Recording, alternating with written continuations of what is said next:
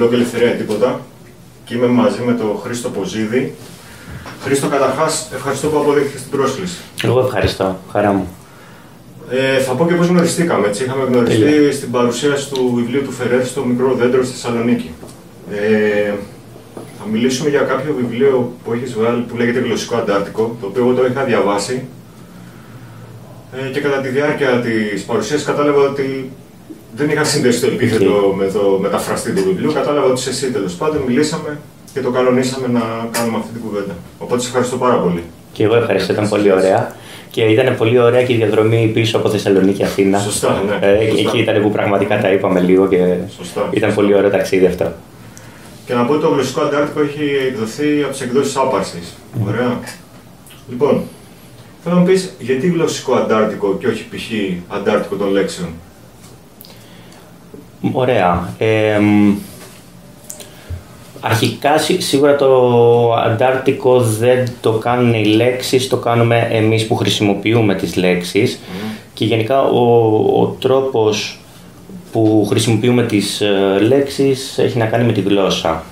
Ε, μ, και μ, οτιδήποτε σχετίζεται λοιπόν ε, με αυτό το πεδίο είναι γλωσσικό, είναι ευρύτερο, δεν είναι μόνο οι λέξεις, είναι μ, και οι προτάσεις, με- ή μάλλον καλύτερα όπως ε, λένε οι γλωσσολόγοι, είναι τα εκφωνήματα. Δηλαδή, ε, οι λέξεις από μόνες τους δεν ε, έχουν τόση δύναμη. Η δύ- τη δύναμη την αποκτάνε μέσα από τη χρήση τους. Όταν εμείς μιλάμε, όταν λέμε κάτι, γι' αυτό λοιπόν ε, γλωσσικό αντάρτικο. Ωραία. Ε, για πες μου λίγο, γιατί επελέγει να είναι ο Μάρξ στο εξώφυλλο; Ήταν Ε, δική σου ιδέα, ήταν κάποιου άλλου, κάποιας άλλης, κάποιου. Γενικά κάποια- είμαι πολύ κακός στο να συνδυάζω πράγματα που γράφω με εικόνες από δίπλα. Ήταν πρόταση του εκδοτικού Μμμ. που μου άρεσε. Ε, αν δεις είναι ο Μάρξ ο οποίος φοράει βερμούδα. Είναι, ξύ- και Έχεις είναι και ένα γε- κεφάλαιο μέσα. Γι' αυτό το λόγο είναι βασισμένο σε αυτό το κεφάλαιο που συντεριάζει κάπως μια μαρξιστική αντίληψη για την ε, ε, ιστορία και για το Λούμπεν. Το συνδυάζω με τη Βερμούδα και να το έγινε εικόνα.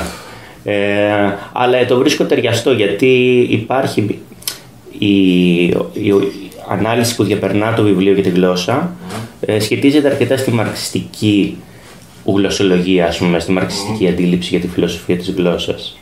Και εμ, αφού θα μιλήσουμε και για τον ε, Μπαχτίν, ένα από τα θεμελιώδη βιβλία πάνω σε αυτό είναι- ονομάζεται ακριβώς έ- έτσι, «Μαρξισμός και φιλοσοφία της γλώσσας», το οποίο έχει δημοσιευθεί με το όνομα του Βαλεντίν Βολόσινοφ, φίλου και συνάδελφου του Μπαχτίν, ε, για πολιτικούς λόγους, γιατί κυνηγούσαν τον Μπαχτίν Άλλαξε το από τη όνομα. Σοβιετική Ένωση, ναι, ε, υπογράφηκε ενώ είναι ευρέως γνωστό πλέον ότι έστω το συντριπτικά μεγαλύτερο μέρος αυτού του βιβλίου το γράψει ο Μπαχτίν, το οποίο είναι καθοριστικό για όλη την κριτική της ε, γλώσσας από την μαρξιστική σκοπιά.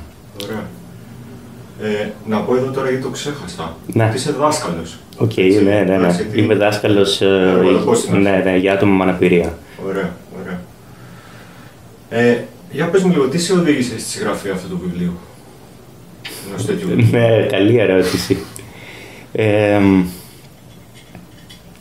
νομ- νομίζω ότι. Καλά, σίγουρα δεν έγινε από τη μια στιγμή στην άλλη μια μέρα. Ε, βέβαια. Ξύπνησα ρε παιδί μου να Εντάξει. πω ότι ναι. θα. Έγραφες πράγματα, ας πούμε. Έγραφα ούτως ή άλλως, αλλά νομίζω ότι κάπως η πορεία μου και με, ε, οι αναζητήσεις μου με αφορμή και τη δουλειά στο σχολείο ε, μ, με, με οδήγησαν να στραφώ στη γλώσσα, ενώ από παιδί ήμουνα περισσότερο στη σκοπιά των μαθηματικών σκέψου, των Έλα. θετικών επιστημών. Ε, και όμως, ναι, Καταπληκτικό. Μπράβο. και να, να πω ότι και η γλωσσολογία στην α, γέννησή της θεωρούταν μια θετική επιστήμη. Είναι αλήθεια το οποίο στη- στην πορεία με βοήθησε. Ε, Τέλος πάντων, μπαίνοντας να δουλέψω στο σχολείο, ανακάλυψα πολύ τον κρίσιμο χαρακτήρα της γλώσσας, ρε παιδί μου. Το, ε, πώς επηρεάζει ο τρόπος που μιλάμε τη σκέψη και τις συνειδήσεις, πόσο μάλλον των παιδιών. Ε, και έτσι σιγά σιγά στράφηκα στη γλωσσολογία. Έκανα ένα μεταπτυχιακό το οποίο ήταν ελληνική γλώσσα και λογοτεχνία στο Ανοιχτό Πανεπιστήμιο Κύπρου. Ε, και όσο ανακάλυπτα και έμπαινα σε αυτόν τον κόσμο της γλώσσας, ε, το συνέδεα με πράγματα που ήδη είχα σκεφτεί για την πολιτική διάσταση. Ε, και με το να μην μπορώ ακριβώς να τα εκφράσω στο ακαδημαϊκό ε, λόγο, στο ακαδημαϊκό επίπεδο, ξεκίνησα να γράφω άρθρα έτσι και λίγο εκλεκευμένα, τα οποία σιγά σιγά άρχισαν να αποκτούν ένα ενιαίο σώμα και κατέληξε να είναι αυτή η συλλογή άρθρων που είναι το γλωσσικό αντάρτικο. Ωραία. Ε, γράφεις στο βιβλίο σου ότι φανερά ή υπόγεια η γλώσσα είναι πεδίο μάχης, ειδικότερα λες ταξικής. Θέλω να πεις γιατί το λες αυτό. Και αφού το θέτεις ως ειδικότερα, άρα υπάρχουν και άλλα πεδία μάχης για την γλώσσα πέραν της ταξικής μάχης, ας πούμε. Mm-hmm. Θες να μου πεις λίγο. Γιατί θεωρείς κυρίως ότι είναι ταξική η μάχη που δίνει η γλώσσα; Ε, με ενδιαφέρει το ταξική. Γι' αυτό εστιάζω και λέω κυρίως ταξικής, επιμένω σε αυτό, γιατί όλη η ανάλυση του βιβλίου μιλάει για την ταξική μάχη στη γλώσσα. Σίγουρα υπάρχουν και άλλα πεδία ε, μάχης. Ουσιαστικά ο, η χρήση της γλώσσας, ε, ο τρόπος που μιλάμε και που χρησιμοποιούμε τις λέξεις, τις νοηματοδοτεί. Και δεν συμφωνούμε πάντα στο πώς θα χρησιμοποιήσουμε μία λέξη. Ε, πολλές φορές διαφωνούμε και πολλές φορές τσακωνόμαστε έντονα για το πώς θα χρησιμοποιήσουμε και τι νόημα θα προσδώσουμε στη λέξη. Γι' αυτό είναι μάχη εκεί πέρα πολλές φορές. Ε, άλλες φορές δεν θα είναι μάχη, θα συμφωνήσουμε ότι αυτή είναι μια κούπα. Κάποιος το λέμε κούπα. Εντάξει. Ε, άλλες φορές όμως δεν θα συμφωνήσουμε, ειδικά σε πιο κρίσιμες κοινωνικά έννοιες από την κουπα Τώρα για το αν υπάρχουν άλλες α, μάχες. Ναι. Ε, ο τελευταίος καιρός έχει δείξει ότι μπορεί να είναι ένα ε, πεδίο μάχης ως προς το έμφυλο για το πώς χρησιμοποιούμε, πώς τροποποιούμε τη γλώσσα, πώς αντιστεκόμαστε σε κάποιους όρους, σε κάποιους άλλους. Ε, οπότε ναι, το έμφυλο τα παλαιότερα χρόνια ήταν ε, ίσως και πεδίο θρησκευτικής μάχης ή ακόμα ε, και μάχης ως προς το ποια είναι η ίδια η επίσημη γλώσσα του κράτους μας, έτσι, δηλαδή η δημοτική, δημοτική και καθαρεύουσα. Ναι. Ήταν μια, μια υπαρκτή μάχη που ε, είχε και, και φυσικές ε, διαστάσεις, ρε παιδί μου. Είχαμε επεισόδια με νεκρούς για τη μετάφραση, ας πούμε, της ε, διαθήκης ή των έργων του, των τραγικών στην uh, Δημοτική. Οπότε και η ίδια η ιστορία μας. Έχουμε πολλά για τη γλώσσα ως μάχη. Ωραία. Ε, αν και κάπως αναφέρθηκες πριν, θέλω να μου πεις το πλαίσιο που λέμε κάτι ή το ποιο, ποιοι είμαστε εμείς οι ίδιοι. Ε, ή ακόμα και ο χώρος που υπόνεται κάτι. Δηλαδή, ξέρω εγώ, τι να πω τώρα. Δεν ξέρω, μπορούμε να βρούμε οποιοδήποτε παράδειγμα. Ξέρω εγώ σε μια ταβέρνα, σε μια κατάληψη και σε μια γκαλερί. Το φέρνω ως παράδειγμα. Ωραία, ωραία, ναι. Και να πούμε το ίδιο πράγμα. Ναι. Έχει διαφοροποιείται και επίσης αυτός που το λέει, αν ξέρουμε τα πιστεύω του, πάλι διαφοροποιείται η εκφορά μιας λέξης, της ίδιας λέξης. Ουσιαστικά τώρα όλο αυτό το ερωτημα περιγράφει τον κλάδο της κοινωνιοκλωσολογίας, όπου μελετάει πραγματικά αυτό που είπα πριν, τα εκφωνήματα, δηλαδή το πώς χρησιμοποιούνται οι λέξεις. Ε, νομίζω θα ήταν, ε, αν όχι αστείο, θα ήταν παράλογο να χρησιμοποιούμε τις ε, ε, λέξεις με τον ίδιο τρόπο πάντα. Θα ήταν ε, ένα ε, υπέροχο πανηγύρι, ρε παιδί μου, δεν θα, βγάλει, δεν θα έβγαινε νόημα. Ενώ η γλώσσα υποτίθεται ότι θέλει να προσδώσει νόημα ε, στην ύπαρξή μας. Αν υπήρχε μόνο κυριολεξία και μόνο ένας τρόπος να το κάνουμε, θα γινόταν ακριβώς το ανάποδο. Δεν θα είχε νόημα. Πάντα είναι τα συμφραζόμενα, είτε τα γλωσσικά, τα λεκτικά συμφραζόμενα, που καθιστούν το τι θέλουμε να πούμε, είτε το περιβάλλον. Γιατί αλλιώς δεν θα υπήρχε χιούμορ, ηρωνία, δεν θα υπήρχε ένα, ένας, ένα δεύτερο επίπεδο ε, νοήματος και μηνύματος. Mm-hmm. Οπότε θα ήταν πολύ περίεργα. Ωραία. Να σου πω τώρα ένα συγκεκριμένο παράδειγμα. Mm-hmm. Πες ότι υπάρχει στον ίδιο χώρο, σε ένα τηλεοπτικό στούντιο, mm-hmm. ο Βορύδης, που το συζητάγαμε και λίγο ναι, πριν, ναι. εντάξει. Λεσελεγικά, ναι. Και ένας αναρχικός. Mm-hmm. Και αναφέρονται στο θέμα των μεταναστών. Ο Βορύδης και χρησιμοποιούν την ίδια λέξη, ας πούμε. Ναι. ναι. Έχει διαφορά στην πρόσληψη τη δική μου, το πώς εκλαμβάνω, πώς το λέει ο Βορύδης στο μετανάστη και πώς το λέει ένας αναρχικός. Θα έπρεπε να έχει διαφορά. Θα έπρεπε δηλαδή, ε, το αναφέρω και στο βιβλίο, ότι δεν είναι μόνο η δικιά μας γλωσσική πράξη με την έννοια της δικιά μας ομιλίας, αλλά και με τη δικιά μας πρόσληψη και τη δικιά μας κριτική πάνω στη γλώσσα.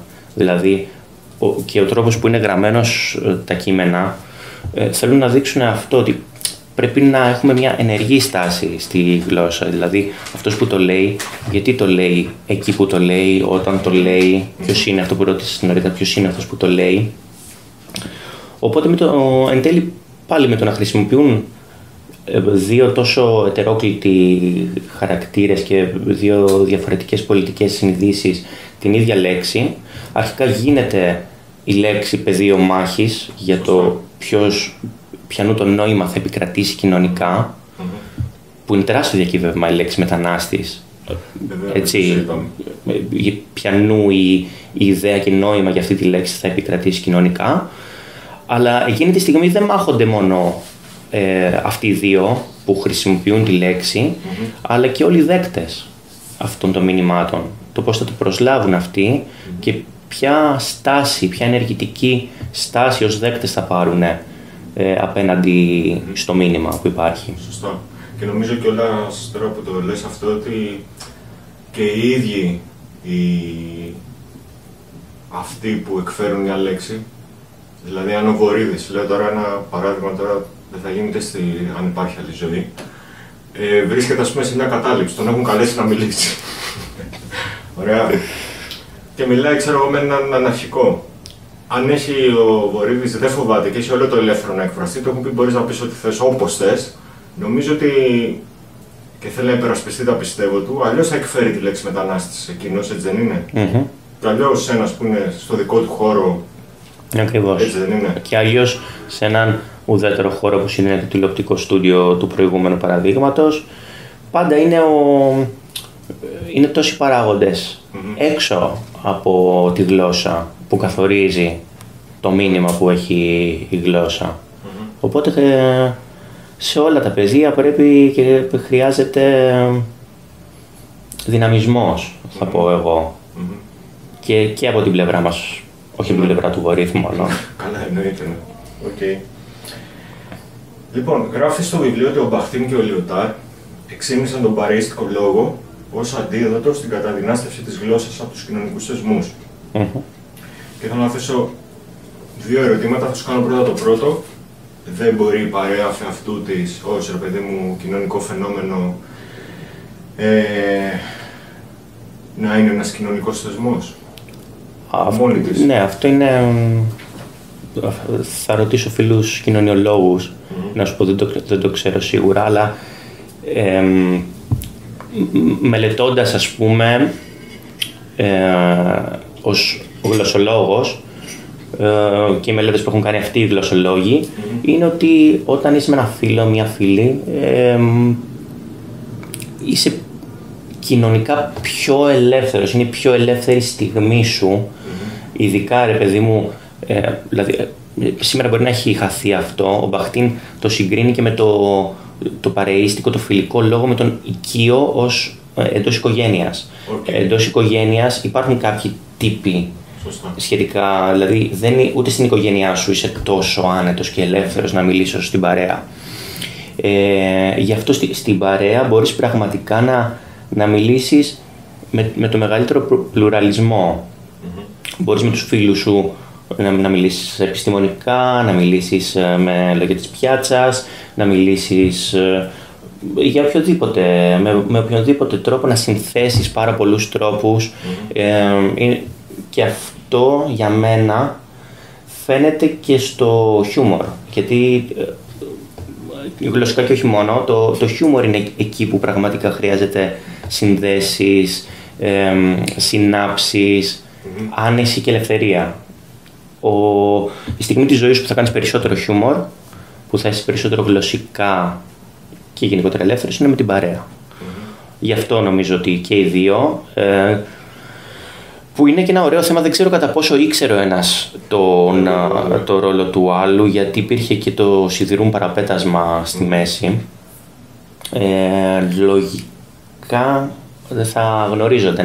Ο, ο Μπαχτίν πέρασε στη Δύση μέσα από την Κρίστεβα, την Τζούλια Κρίστεβα, ε, που ήταν, ζούσε και στη Γαλλία εκείνη την περίοδο, είναι πιθανό να τα ήξεραν, αλλά έχουν γράψει ε, ο Μπαχτίν στο πρόβλημα των ειδών του λόγου αυτό έκανε αυτή τη σύγκριση εκεί ο Φιλικό και ο Λιωτάρας στη μεταμοντέρνα κατάσταση. Γιατί και, και το βιβλίο μεταμοντέρνα κατάσταση, ειδικά όσο κάνει την κριτική στη, ε, στο ρόλο της γλώσσας, είτε μέσα σε, ακαδημ, σε ακαδημαϊκό κύριο επίπεδο, ε, φλερτάρουν οι ιδέες του με τις ιδέες του Μπαχτίν.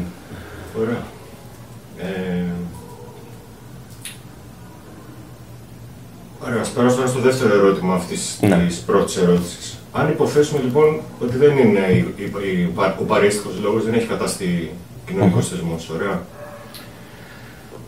Μπορεί εξ ολοκλήρου να μην έχει επιρροές από το θεσμικό λόγο ε, και πώς να σου πω τώρα, από τις ε, κοινωνικές επιταγές, από ναι, ναι, ναι, ναι. Μπορεί. Έχει, θα έχει, θα έχει. δεν γίνεται. Δηλαδή και η, είναι, αν δεν είναι κοινωνικός θεσμός, είναι μια κοινωνική συναναστροφή που λένε έτσι, μια ναι. κοινωνική συνύπαρξη. Είναι ενταγμένη ε, σε ένα συγκεκριμένο κοινωνικό περιβάλλον. Όλες μας οι, οι επαφές, οι συνομιλίες, οπότε αναπόφευκτα είναι επηρεασμένες.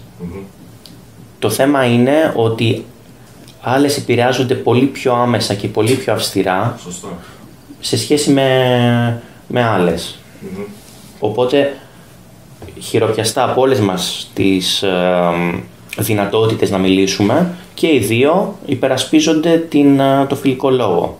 Δεν θα μπορούσαν να υπερασπίζονται το στρατιωτικό λόγο, ας πούμε, δηλαδή τι, τις διαταγές και τα προστάγματα που είναι η, ο βασικός τύπος επικοινωνίας, αλλά την ε, ε, ελευθεριακότητα, ας πούμε, που έχει ο φιλικός λόγος. Και γι' αυτό ε, εγώ υπερασπίζομαι ότι αφού αυτός είναι ο τύπος ο πιο δημιουργικός, ο πιο ε, ελεύθερος, ε, πρέπει να τον εντάξουμε κινηματικά ας πούμε, να γίνουμε πιο προς αυτή, να πάμε προς αυτή την κατεύθυνση όταν θέλουμε να μιλήσουμε. Okay. Αυτό. Ωραία. Λοιπόν, ας πάρουμε τη λέξη επανάσταση. Ωραία. Πάμε στα βαθιά από την κούπα εδώ στην επανάσταση, ωραία. Λοιπόν, η Επανάσταση έγινε στη Ρωσία το 1917, στην Ισπανία το 1936. Επανάσταση ονόμασαν οι δικτάτορες στο καθεστώς το 1967. Ναι. Ωραία. Και ο, και ο Μεταξάς. Και ο Μεταξάς, μπράβο, ναι. Επανάσταση. Επανάσταση κάνουν σήμερα όλες τις τεχνολογικές εταιρείες, ας πούμε. Δηλαδή ναι. βγάζουν το τάδε, ξέρω εγώ, προϊόν. Ναι, ναι, ναι. Είναι επανάσταση, ξέρω εγώ. Α, να σου πω άλλο ένα. Ναι, το είδα στο, στο Σύνταγμα, mm-hmm. εταιρεία fast food, Πού έκανε επανάσταση; Ε, είχε κάποιο καινούριο μπέργκερ. okay. και είχε ένα, ξέρεις, ένα κόκκινο επανάσταση και από κάτω δείχνει τον μπέργκερ. Νομίζω συμπληρώνει αυτό. Ναι, βέβαια. Ναι. Ποιο είναι το σχολείο σου γι' αυτό; Εδώ είναι ε, άλλο ένα παράδειγμα mm. της, ε, της μάχης, το πώς θα, πώς θα νοηματοδοτήσουμε την ε, λέξη. Ε, σε όλα αυτά τα παραδειγματα νομίζω δείχνει πόσο καλή είναι η, η προσαρμοστικότητα του καπιταλισμού ειδικά για το μπέργκερ, όχι για, το, ε, για τη δικτατορια αλλά το βλέπουμε σήμερα τελείως ότι ε, οικειοποιούνται λέξεις και τους προσδίδουν τα δικά τους νοήματα. Οπότε ε, κλέβουν, ε, κάνουν πιάτσικο. Εδώ πρέπει να αντισταθούμε και να υψώσουμε ανάστημα ότι όχι, η λέξη αυτή έχει συγκεκριμένη ιστορική κοινωνική σημασία, σημαίνει αυτό το πράγμα. αλλά βέβαια η σημερινή πραγματικότητα δείχνει ότι είναι, είναι χοντρή η αντιπαράθεση, παιδί μου. Αλλοιώνονται πάρα πολύ τα νοήματα. Υπάρχει μια αβεβαιότητα, μια ασάφεια κυριαρχεί νομίζω στο δημόσιο λόγο. Είναι κάπως σαν να χάνουν το, το βάρος τους οι λέξεις και να πηγαίνουν από εδώ από εκεί σε κάθε στρατόπεδο. οπότε πρέπει να είμαστε πολύ αυστηροί όποιοι εμείς θέλουμε να υπερασπιστούμε μια άλλη έννοια για την Επανάσταση, μια άλλη αντίληψη για το τι σημαίνει αυτό. Ωραία. Να σε ρωτήσω τώρα κάτι σε σχέση με την Επανάσταση. Ετοιμολογικά, μπορείς να μου πεις πώς σου βγαίνει αυτή η λέξη; Αχ, τώρα είμαι αδιάβαστο. Επανάσταση. Ε, φαντάζομαι Ανάσταση και ναι. την πρόθεση επί, φαντάζομαι. Ναι, ανασταίνω, ε, ναι. δηλαδή η καθαρή ετοιμολογία είναι αυτό. Ναι. Το οποίο είναι ωραίο. Εμένα μου αρέσει που υπάρχει η λογική της αναστασης μέσα σε, σε αυτό και δεν, δεν το λέω με, με απαραίτητα θεολογικό, περιεχόμενο. Ε, ε, και θα, να σου πω γιατί, γιατί μου άρεσε να κάνω όμως μια μικρή ε, παρέκβαση. Μια κομβική ε, έννοια για τον Μπαχτίν ε, είναι η, η λειτουργία του, του λαϊκού γέλιου, του καρναβαλιού βασικά πιο σωστά. Και το καρναβάλι είναι μια λειτουργία, ένα κοινό ανθρωπολογικό χαρακτηριστικό. Ο Μπαχτίν λοιπόν ξέφυγε από τη γλωσσολογία, αλλά με αφορμή το πεδίο της θεωρίας λογοτεχνίας που μελέτησε, μελέτησε και αυτό το καρναβάλι στο Μεσαίωνα και ένα, έναν τύπο που ε, έχει ξεκινήσει από αρχαίγονες ε, ε, διαδικασίες και τελετές που σχετίζονται με την ε, Ανάσταση, ουσιαστικά την Ανάσταση και την αναγέννηση της φυσης οπότε έχει κάνει μια πάρα πολύ ενδιαφέρουσα, μια ε, συναρπαστική θεωρία ε, για το πώς αυτή η πρωτόγονη σκέψη, η οποία είναι εύθυμη και σχετίζεται με την ε, εναλλαγή των εποχών και με την αναγέννηση της φύσης, από το χειμώνα πάμε στην άνοιξη ε, και πώς το γιορτάζουν αυτό μέσα στα χρόνια οι άνθρωποι και τι σημαίνει αυτό για τους ανθρώπους. Σημαίνει ότι υπάρχει ένα μεγάλο κατά τη στοιχεία με το μεγάλο σώμα της φύσης υπάρχει ένα μεγάλο σώμα του ανθρώπου, της ανθρωπότητας το οποίο και αυτό διαρκώς ανασταίνεται και αναγεννιέται από το πέρασμα από γενιά σε γενιά ε, και ότι αυτή η διαρκής αλλαγή είναι ό,τι πιο σωτήριο και ό,τι πιο χαρούμενο έχουμε οι άνθρωποι. Και αυτό το συνδέει και σε κοινωνικό επίπεδο, ότι υπάρχει μια τάση ε, του ανθρώπου που είναι πολύ ενδιαφέρον να, να σκεφτούμε ότι είναι ένα ανθρωπολογικό χαρακτηριστικό σε όλες τις κοινωνίες, σαν να είναι έμφυτο στον άνθρωπο, η τάση για ε, αλλαγή ε, και κοινωνική αλλαγή, διαρκή. Μέσα στα χρόνια όλη αυτή η συνθήκη, το οποίο μπορούμε να βρούμε με τελετές οι οποίες αρχαίγονες, γιατί έχει περάσει τους μύθους αυτό το πράγμα, τελετές που ε, χρειάζεται η θανάτωση του βασιλιά για την ε, ανάδυση του καινούριου που πάλι διατηρείται κάπως το κοινωνικό σύστημα αλλά αυτά είναι ε, ταυτόχρονα και φιλτραρισμένα από, τις από την κοινωνική, από την εκάστοτε κοινωνική πραγματικότητα και φτάνουμε σε σημείο σιγά σιγά να περιχαρακώνονται. Δηλαδή το καρναβάλι ενώ ήταν ένας τρόπος σκέψης ουσιαστικά, ένας τρόπος χαρούμενης σκέψης που σχετίζεται με την Ανάσταση. σιγά σιγά έγινε μία συγκεκριμένη ε, θεσμοθετημένη και ακριβώς προσδιορισμένη χρονικά γιορτή η οποία βέβαια δεν ξέφυγε από αυτό το κρίσιμο σημείο μετάβασης από Φυσική μετάβαση της φύσης. Της φύσης ακριβώς, ναι, από το χειμώνα στην άνοιξη και πολλές γιορτές, δηλαδή ε, ακόμη και το Πάσχα, η ε, χριστιανική Ανάσταση γίνεται εκεί Μάρτι, Απρίλη, Ναι. όλη η διαδικασία της Σαρακοστής ε, ε, σχετίζεται με την αναγέννηση, όπως και τα Χριστούγεννα σχετίζονται με την χειμερινή ησημερία, ας πούμε, ότι ε, είναι κάποιοι τύποι οι οποίοι έχουν ε, ενδυθεί διαφορετικά, διαφορετικές μορφές, αλλά αναφέρονται σε αυτό. Σε κάθε περίπτωση ε, έχουμε μία επιθυμία ανθρώπινη για ανάσταση, ανανέωση, ε, αναγέννηση, διαρκή αλλαγή. Καμ- ε, Και η οποία αλλαγή είναι ε, εκ των προτέρων ενάντια στα τελεσίδικα, στα ιερά και σε όλα αυτά τα οποία θέλει να ενδύεται η εκάστοτε εξουσία. Οπότε από, από αυτήν την Ανάσταση δεν απέχουμε πολύ από την Επανάσταση. Ένας Ωραίο είναι αυτό που είπες. Απλά ήθελα να πω τώρα για αυτό που έλεγες για την ανάλυση για το καρναβάλι, τον Μπαχτίν. Ε, ότι τώρα ουσιαστικά το καρναβάλι είναι θεσμικό. Δηλαδή θέλω να πω ότι αποφασίζει το κράτος, η Δήμη, Ναι. έτσι δεν είναι. Και φαντάζομαι ότι έχει χάσει και τα στοιχεία που είχε κάποτε.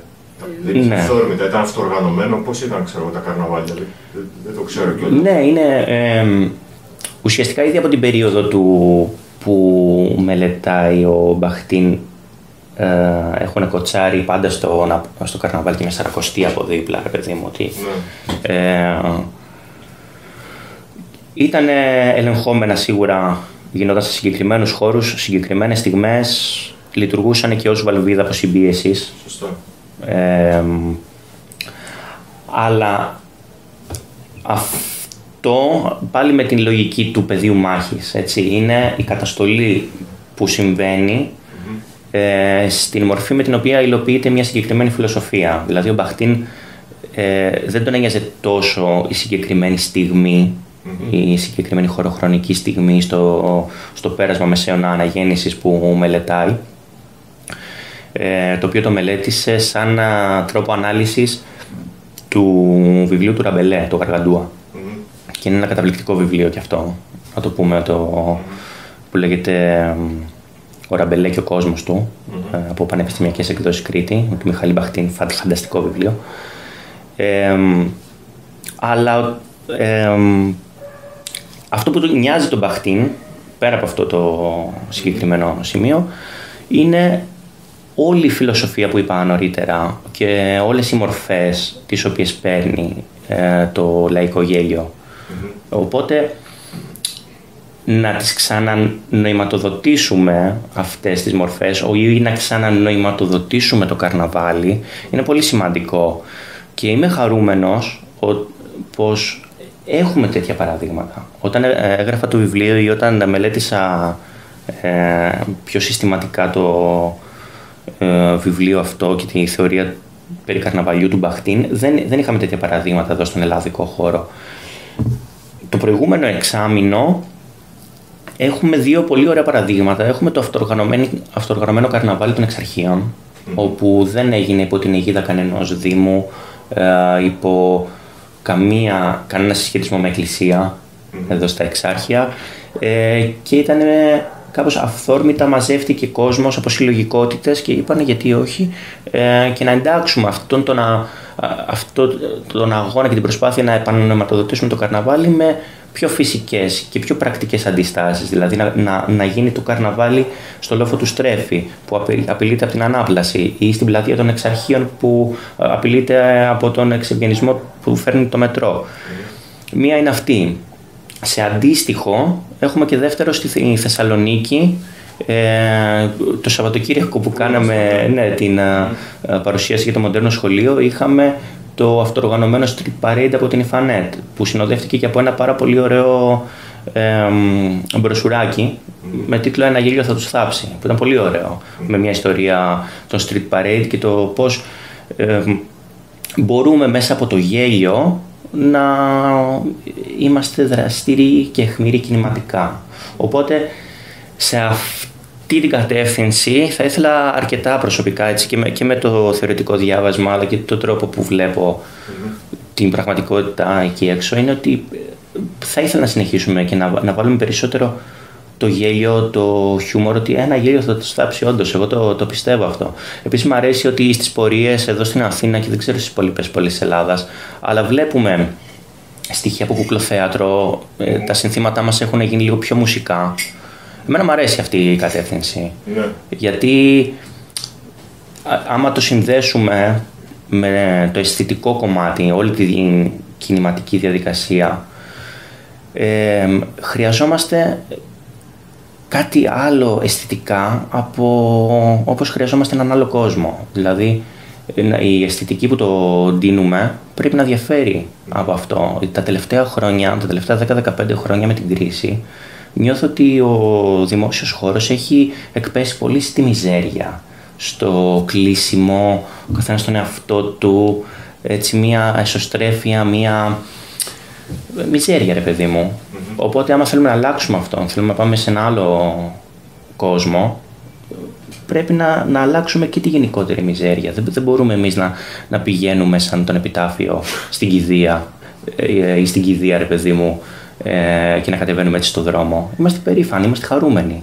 Έχουμε δίκιο που κατεβαίνουμε. Πρέπει κάπως να το δείχνουμε αυτό το πράγμα. Οπότε το να, να κάνουμε πιο γιορτή την πορεία είναι μια ε, πολύ ευχάριστη ε, προοπτική και μακάρι να συνεχιστεί.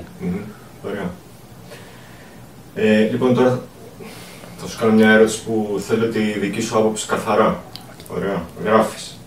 Ανέκαθεν λες η οικειοποίηση των νοημάτων και των συμβολισμών αποτελούσε το μεγάλο πνευματικό όπλο των εξουσιών, θρησκευτικών πολιτικών. Και θέλω να σου πω τέσσερις λέξεις που έχουν σχέση με το πολιτικό και το θρησκευτικό λεξιλόγιο και το καθημερινό λεξιλόγιο και είναι η εξής. Και θέλω να μου πεις αν, τους, αν βγάλουμε από πάνω τους, τους αφαιρέσουμε το περιεχόμενο που τους έχει δοθεί, ποιο θα θέλεις να είναι για σένα το περιεχόμενό τους; OK. Okay. Ωραία. Λοιπόν, η πρώτη είναι η, λέξη ανάπτυξη. Είναι δηλαδή, ακούγεται κάθε μέρα. Ναι. Θες να μου πεις για αυτήν, καταρχάς; Να σου πω για τη λέξη ανάπτυξη, λοιπόν, να διώξουμε... Να διώξουμε, ναι, αυτό που έχει πάνω της και να μου πεις εσύ πώς θα, τι θα ήθελες να σημαίνει. Ίσως σε μια άλλη κοινωνία. Ναι. Ε, κοίτα, αρχικά είναι... Ε, εγώ αυτό που υπερασπίζομαι και στα κείμενα είναι ότι δεν, από τη φύση της και επιστημονικά η γλώσσα δεν είναι ατομική, δεν μπορεί να έχει νόημα του ενός. Δηλαδή τώρα να, να πω τι θέλω να σημαίνει και να σημαίνει αυτό. Όχι, δεν θα σημαίνει αυτό. Πώς θα μπορούσε να, σημαίνει. Θα γίνει μια σύνθεση, ας πούμε. Ναι, ποια θα ήταν η δικιά μου συμβολή. ναι. Εγώ μπορώ να πω κάτι άλλο. Ναι, OK. Okay. Για την ανάπτυξη. Ε, θα ήθελα να γυρίσει στο πιο φυσικό της και να μιλάμε περισσότερο για την ανάπτυξη των παιδιών και για την ανάπτυξη της φύσης. Δηλαδή να φύγουμε από την ανάπτυξη του ε, η οποία είναι τελείως συνδεδεμένη με το κέρδος. Δηλαδή όπου ακούς ε, ανάπτυξη κάπου τριγυρίζει ο οικονομικός παράγοντας το κέρδος. Ε, και τώρα μου ήρθε να πω που ακούς ανάπτυξη ανθρώπινο κρέας μυρίζει για τον ελίτη, αλλά τέλος πάντων. οπότε, ναι, εγώ και ως δάσκαλος Τη λέξη ανάπτυξη τη χρησιμοποιώ με, την, ε, ε, με τον όρο της φυσικής ανάπτυξης, της νοητικής, σωματικής, πνευματικής, συναισθηματικής ανάπτυξης των παιδιών και θα ήθελα πολύ σαν πεδίο διαλόγου δημόσιου να πάμε σε αυτό στο πώς αναπτύσσουμε τα παιδιά μας και στο να αναπτύξουμε λίγο περισσότερο πράσινο, ειδικά εδώ στην Αθήνα. Αυτό για την ανάπτυξη. Okay. Ε, η λέξη πρόοδος. Και, και η λέξη πρόοδος είναι πολύ ωραία. δηλαδή, ε, πολύ προοδευτικοί είμαστε ενάντια στην πρόοδο. Ναι. Έτσι, δηλαδή, ε, που δείχνει, πρέπει μου, και αυτό το, τη μάχη. Δηλαδή, μιλάμε για μια πολιτική πρόοδο, για μια κοινωνική πρόοδο και ταυτόχρονα μιλάμε για οικονομική πρόοδο και δεν καταλαβαίνεις τελικά ποια πρόοδο. Ναι, είναι πολύ σωστό. Ε, ποια πρόοδο; Τι θα εννοούσε εσύ, ας πούμε, ως πρόοδο; νομίζω πάλι με την ε, ανάπτυξη. Είναι αρκετά κοντά δηλαδή. Ναι. οπότε να... η πρόοδος θα μου άρεσε να προοδεύσουμε λίγο στην επικοινωνία μας. Να, ότι κάνουμε προόδους. Έτσι δηλαδή, ότι δουλεύουμε τη σχέση, ότι ε, που το, που το χρησιμοποιεί και ο δάσκαλος, το κάνουμε προόδους, αλλά δεν θα πω πάλι για το κομμάτι της ανάπτυξης και της μάθησης, ότι προοδεύσαμε στην επικοινωνία, ότι καταφέρνουμε και λίγο συνεννοούμαστε, ότι επικοινωνούμε λίγο καλύτερα. Αυτό θα μου άρεσε για την πρόοδο. Ωραία. Θα σου πω τώρα μια θεολογικού θρησκευτικού περιεχομένου. Σωτηρία. Σωτηρία. Αν τις ε, βγάλουμε το μεταφυσικό Ναι. της ρούχο, ας πούμε. Ωραία. Ή το δεν ξέρω ποιο άλλο. Ναι, σωτηρία. ε, φ- έχει κάτι πο- πολύ έντονα εσχατολογικό, ρε παιδί μου. Ναι, δηλαδή, ιδέες, ναι. ιδέες. Είναι, Ναι, έχει- έχει ξέρεις τι, βάρος. είναι ωραία άσκηση αυτή. Και ωραίο, δηλαδή ξαφνικά να, να οι λέξεις κάπως λειτουργούν, γράφω, γράφω ε, στο κείμενο μια λογική σαν παγόβουνο.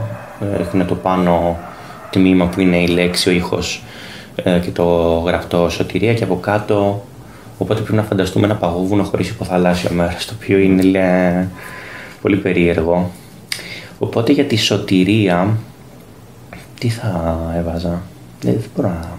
με Δυσκολεύει πάρα πολύ τώρα αυτή. Τέλος Οκ. πάντων. Εντάξει. Αν, αν δεν έχεις κάτι, ρε παιδί μου, γιατί τώρα είναι και λίγο, είναι λίγο δύσκολο αυτό το. Μμ.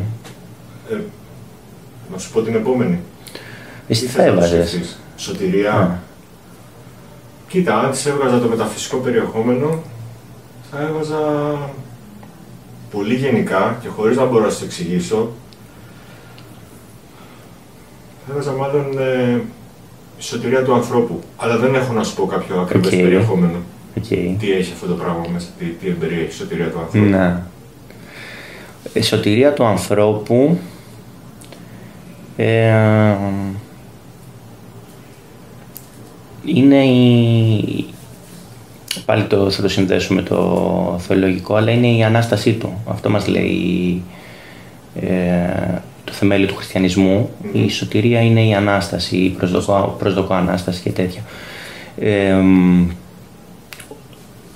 Ας το ενώσουμε με, το, με τη δικιά μας, την παχτινική έννοια της Ανάστασης, οπότε ε, η Ανάσταση, ε, σωτηρία, είναι η, η συνειδητοποίηση ότι αυτό που έχει πραγματικά σημασία είναι το συλλογικό μας σώμα, το οποίο μένει ε, συλλογικά, συνολικά, αθάνατο με την αλλαγή ζωής και θανάτου των απλών ανθρώπων, αλλά για να το παραδεχτούμε αυτό πρέπει να λογιάζουμε ε, ότι αυτό που έχει σημασία είναι το σύνολο, η ανθρωπότητα.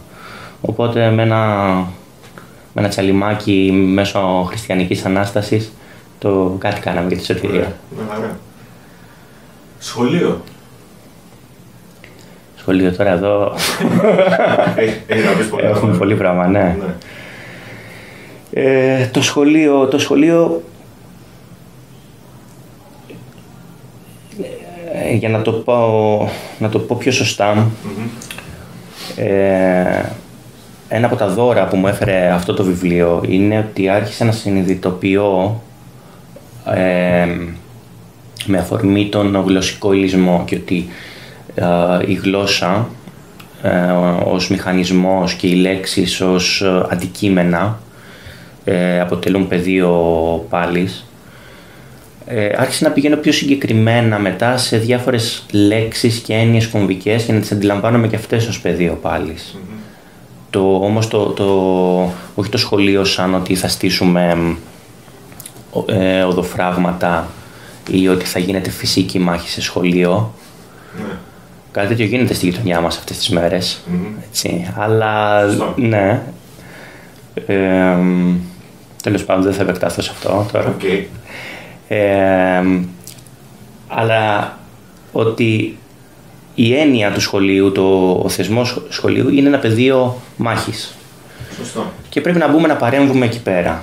Οπότε είναι αυτό που λες ότι να, να αφαιρέσουμε το τέτοιο.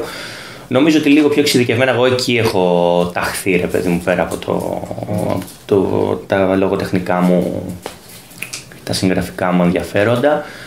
Ε, οπότε γι' αυτό εν τέλει δεν μπορώ να πω έτσι πιο φανταστικά και πιο αφηρημένα όπως με τις προηγούμενες λέξεις γιατί είμαι εκεί, είμαι, προσπαθώ να, να διώξω πράγματα από το σχολείο που υπάρχουν και προσπαθώ να περάσω άλλα δικά μου, δικά μας γιατί υπάρχουν αρκετοί δάσκαλοι και δασκάλες που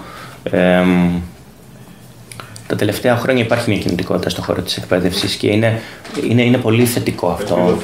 Είναι ελπιδοφόρο γιατί, εντάξει πάλι λίγα άτομα είμαστε ε, σε σχέση με την, mm. με την πλειοψηφία, αλλά κάτι υπάρχει. Mm. Και είναι, ναι, δεν γίνεται τώρα το, η εκπαίδευση, το, ε, το κατεξοχήν πεδίο που θέλει να φέρει ένα φως, να, να είναι πίχτρα σκοτάδι. Οπότε κάτι γίνεται εκεί πέρα και θα συνεχίσει να γίνεται. Ωραία. Θα επανέλθω στο σχολείο κάποια στιγμή. Ε, να σε πάω κάπου αλλού. Γράφεις ότι ο ελίτης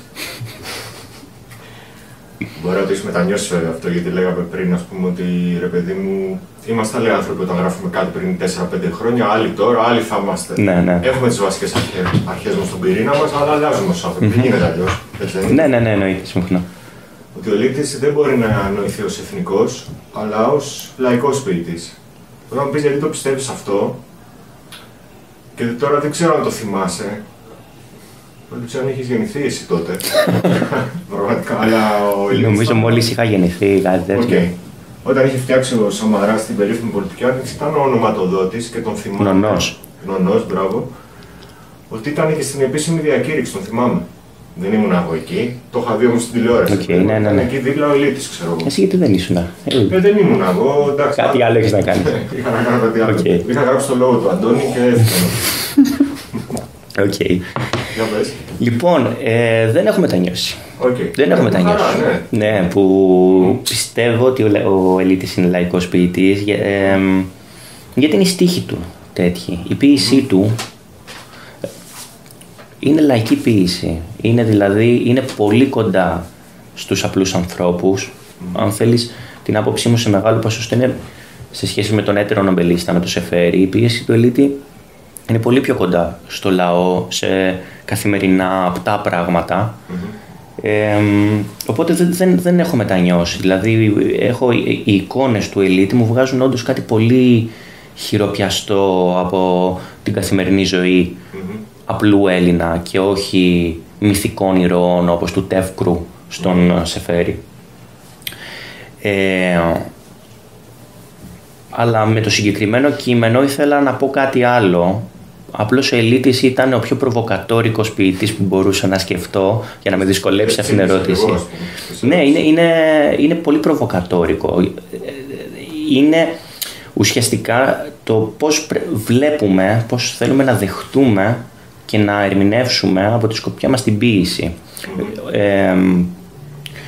και πιστεύω ότι αφού μπορούμε και τον ελίτη να τον βάλουμε σε ένα κύκλο λαϊκότητας, να τον συγγνώμη, να τον επανακιοποιηθούμε από το ότι είναι ο κατεξοχήν πλέον εθνικός ποιητής. Είναι ο αεροδρόμια, ε, στο όνομά του, τίτλοι τιμής, πολλές αναφορές από πολιτικούς, λέσχες, όλα, όλα. Δηλαδή είναι, είναι σε όλα τα σχολικά ανθολόγια, δηλαδή και στα σχολικά ανθολόγια συνοδεύεται συνήθως με ζωγραφιές ε, παιδιών με φόντο τη θάλασσα και οριακά ελληνικές σημαίες, ξέρει, στα γαλάζια. Είναι, είναι αυτός ο ποιητής. Αλλά το θέμα είναι ότι όπως είπα πριν με το σχολείο, ε, ότι μπορεί να γίνει ένα πεδίο πάλι σαν μια γενικότερη έννοια, έτσι και η ποίηση σαν μια γενικότερη έννοια. Μετά από ένα σημείο νομίζω ότι ένας βασικός ρόλος της ποίησης ε, είναι να είναι εθνική να είναι δηλαδή ένα, ένα αισθητικό επιστέγασμα του μεγαλείου του εκάστοτε έθνους, mm. του, της γλώσσας, της ανωτερότητας της φυλής, ότι εμείς φτιάχνουμε αριστουργήματα και τέτοια. Και γι' αυτό τον λόγο πολύ συγκεκριμένοι ποιητές έχουν ε, προωθηθεί τόσο.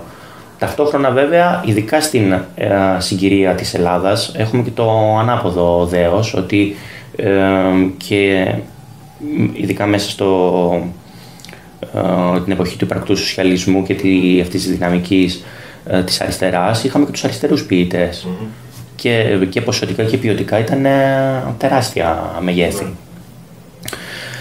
οπότε το, το ζήτημα είναι να, να, να αντιληφθούμε την ποίηση ως ε, και ως αντιπαράθεση, ως ε, διεκδίκηση οικειοποίησης.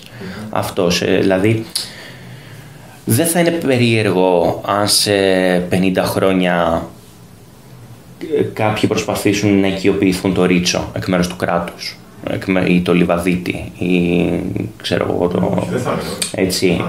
Ε, και πιστεύω ότι σιγά σιγά γινόταν τέτοιες προσπάθειες με όλη, όλη την αριστερή διακυβέρνηση που είχαμε από τη μεταπολίτευση και μετά. Mm-hmm. Ε, απλώς ήταν πολύ νοπές οι μνήμες μάλλον για να γίνει. Ε, είναι πολύ φυσιολογικό να, να στραφεί ε, κάποια ειδικά αριστερή κυβέρνηση στο μέλλον και να πει ο Ρίτσος εθνικός ποιητής, Αναγνωστάκης εθνικός ποιητής. Ε, εμείς από κάτω, ο λαός, τι γνώμη έχει για την ποιήση; Αυτό. Να έχουμε μια κριτική ε, ετοιμότητα και να κάνουμε δικές μας ερμηνείες και να οικειοποιούμαστε όλα τα ονόματα. Ακόμα και τον ονό της πολιτικής άνοιξης. OK. Okay. Ωραία. Ε, θέλω να μου πεις κάτι που έχει να κάνει με την ποίηση. Η ποίηση σε σχέση με τη μελοποίηση. OK. Okay. Δηλαδή, ας πούμε, θα πω τώρα τους πιο γνωστούς, ο Ελύτης και ο Ρίτσος. Ναι. Που που, έχουν, που είχαν κάνει το μεγάλο μπαμ, ειδικά ας πούμε, στη μεταπολίτευση. Έτσι, Ο χαμός. Το Θεοδωράκη. Ναι, να γεμίζει στάδια. Ναι. Μπορεί. Το ερώτημά μου είναι, ρε παιδί μου, αν ε, οι στίχοι τους πραγματικά έφτασαν στον κόσμο ως ε, ως περιεχόμενο, ως νόημα, ή αν εντός εισαγωγικών καπακώθηκαν, επιβλήθηκε πάνω Α, η μουσική. Η, η γιατί ήταν πομπόδι αυτά τα τραγούδια, δεν ήταν. Ε, Κυρίως πομπόδι. Αυτά ναι. που ξέρουμε οι περισσότεροι εννοώ, εντάξει. Ναι. Τι πιστεύεις, ότι μπόρεσε η ποιήση να βγει από αυτό μέσα από, τα, από τη μελωδία ή κάπως κλείστηκε στο καζάνι της μελωδίας. Ωραίο, ωραίο ερώτημα, ναι. Ε, νομίζω ότι ακροβατεί, γιατί συμφωνώ ότι ειδικά ο Θοδωράκης είναι ναι. πομπόδης. Υπάρχουν άλλοι συνθέτες που έχουν ε, σεβαστοί να πω ή έχουν υποχωρήσει λίγο πιο πίσω. Ε, πολύ ωραίος δίσκος ο μεγάλος ερωτικός του Χατζηδάκη που έχει φοβερή μουσική μεν, αλλά... Ναι, ναι, έχει ελίτη.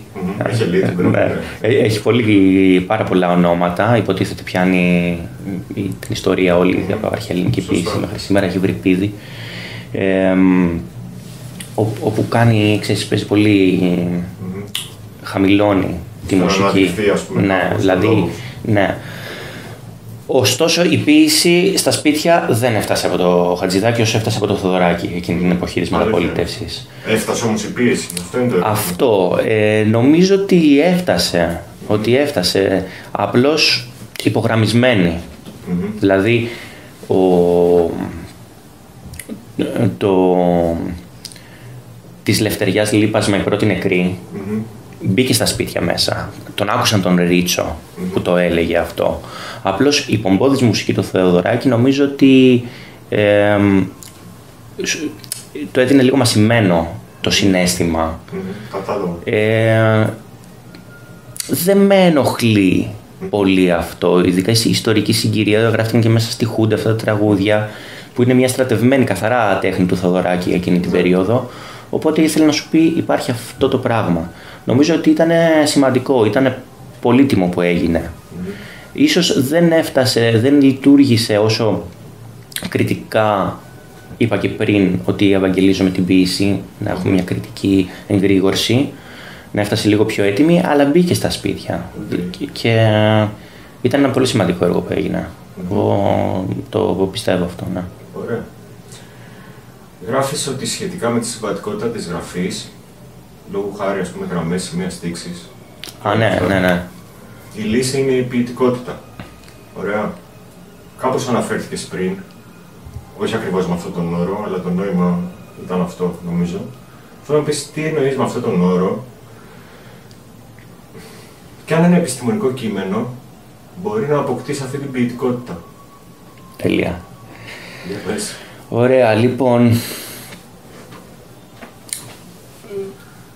ποιητικότητα ε,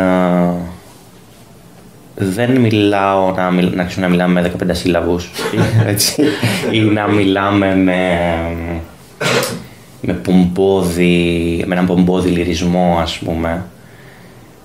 Το στοιχείο της ποιητικότητας ε, που θα ήθελα να εντάξουμε λίγο στο, στο λόγο μας που μια παρένθεση ε, μιλάω για συγκεκριμένα είδη του λόγου. Μιλάω τώρα, ας πούμε, δηλαδή, όχι να μιλάμε πάντα ε, ποιητικά, γιατί αυτό είπαμε θα το έκανε, όπως είπαμε στην αρχή, αυτό θα ήταν γελίο, ρε παιδί μου, να μιλάμε με τον ίδιο τρόπο. Ε, εστιάζω κυρίως στον γραπτό λόγο, τον κινηματικό περισσότερο, ή ως ε, ε, φορείς συγκεκριμένων των ιδεών, που πιστεύω ότι αξίζει να τη συντεριάξουμε με αυτήν την ποιητικότητα. Okay. Η οποία ποιητικότητα είναι ουσιαστικά μια ευληγησία, μια ελαφρότητα, να μην πέφτουμε στην παγίδα και στο τρυπάκι του ξύλινου λόγου, του πρέπει να μιλάω έτσι, του δεν πρέπει να μιλάω έτσι. Να είμαστε λίγο πιο... αυτό πάλι, ελαφρύς και ευλίγιστοι. Δηλαδή, με ενδιαφέρει η ποιητικότητα του μοντερνισμού που ήταν πολύ επαναστατική με την έννοια ότι ξέφυγε από την αυστηρή Δηλαδή ε, έναν έτσι πιο ελεύθερο στίχο, όχι κενό όμως στίχο. Ε, αυτή είναι η ποιητικότητα ουσιαστικά που θα ήθελα, που είναι ναι, η, η σωτηρία μας από, από τη συμβατικότητα. Γιατί η συμβατικότητα είναι προκαθορισμένη και είναι προκαθορισμένη από συγκεκριμένες κοινωνικές ομάδες, ας πούμε. Ότι όπως η πολιτική ορθότητα, ότι πρέπει να μιλάμε έτσι, δεν πρέπει να μιλάμε έτσι, πρέπει να γράφουμε έτσι, να έχουμε συγκεκριμένη σύνταξη, συγκεκριμένη δομή, όλα αυτά. Να γίνουμε λίγο πιο. να, να γράφουμε πιο παιχνιδιάρικα. Αυτό είναι που θέλω. Άρα αναφέρεσαι από ό,τι κατάλαβα στο, κυρίως στον κινηματικό λόγο. Σωστά. Ναι, ή ναι. Κατεξοχήν σε αυτόν. Κατεξοχήν σε αυτόν ή κυρίως; Κυρίως σε αυτόν όπου μπορούμε. Γιατί με ρώτησες και για τον ακαδημαϊκό λόγο. Άμα μπορεί να έχει ποιητικότητα. Ναι, επιστημονικός, ας πούμε. Δηλαδή, συγγνώμη τώρα που σε διακόπτω, να ναι. ένα παράδειγμα. Το δικό σου το βιβλίο. Mm-hmm. Ε, πιστεύεις ότι ας πούμε είναι ένα βιβλίο εκλαϊκευμένο ή που κάποιος άνθρωπος που θα το διαβάσει πρέπει να ξέρει πέντε πράγματα πριν το διαβάσει; Εκτός αυτού, έχει μια ποιητικότητα μέσα του, δηλαδή προσπάθησες κάτι τέτοιο ή είπες παιδιά, κάποια ναι. πράγματα δεν μπορώ να τα πούμε αλλιώς. Εντάξει, τι να κάνουμε. Ναι.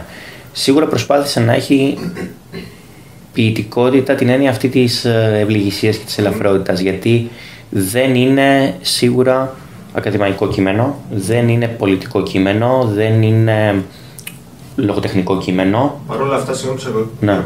είναι και όλα αυτά. Αυτό θέλω να πω. Αυτός είναι κατεξοχήν, αλλά ναι. είναι και όλα αυτά. Είναι, είναι περισσότερο όλα αυτά, λίγο το ένα, λίγο το άλλο, να πηγαίνουμε από το ένα σε άλλο. Ναι. Αυτό. Δηλαδή, ναι, δεν είναι κα, ε, κα, κάτι καθαρά ξύλινα συγκεκριμένα. Όχι, δεν είναι, όχι. Έτσι, δεν θέλουμε την κλειστότητα. Θέλουμε να είμαστε πιο ανοιχτοί, να κάνουμε συνάψεις. Αυτές οι, οι συνάψεις και όσο πιο απροσδόκητες είναι, ε, για μένα βγάζουν λογοτεχνικότητα, ποιητικότητα που γράφω. Ε, τώρα, ένα ακαδημαϊκό κείμενο μπορεί να γίνει ε, ποιητικό. Είναι πολύ δύσκολο γιατί είναι πολύ άτεγκτη η μορφή του, που πρέπει να έχει παραπομπές, πρέπει να έχει συγκεκριμένη δομή και τέτοια. Ε, αλλά έχει κάποια περιθώρια.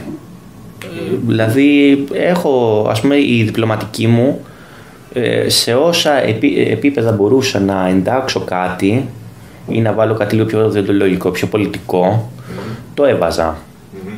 Mm-hmm. Ίσως αναγκαζόμουν να βάλω και μια παραπομπή από δίπλα. Ναι.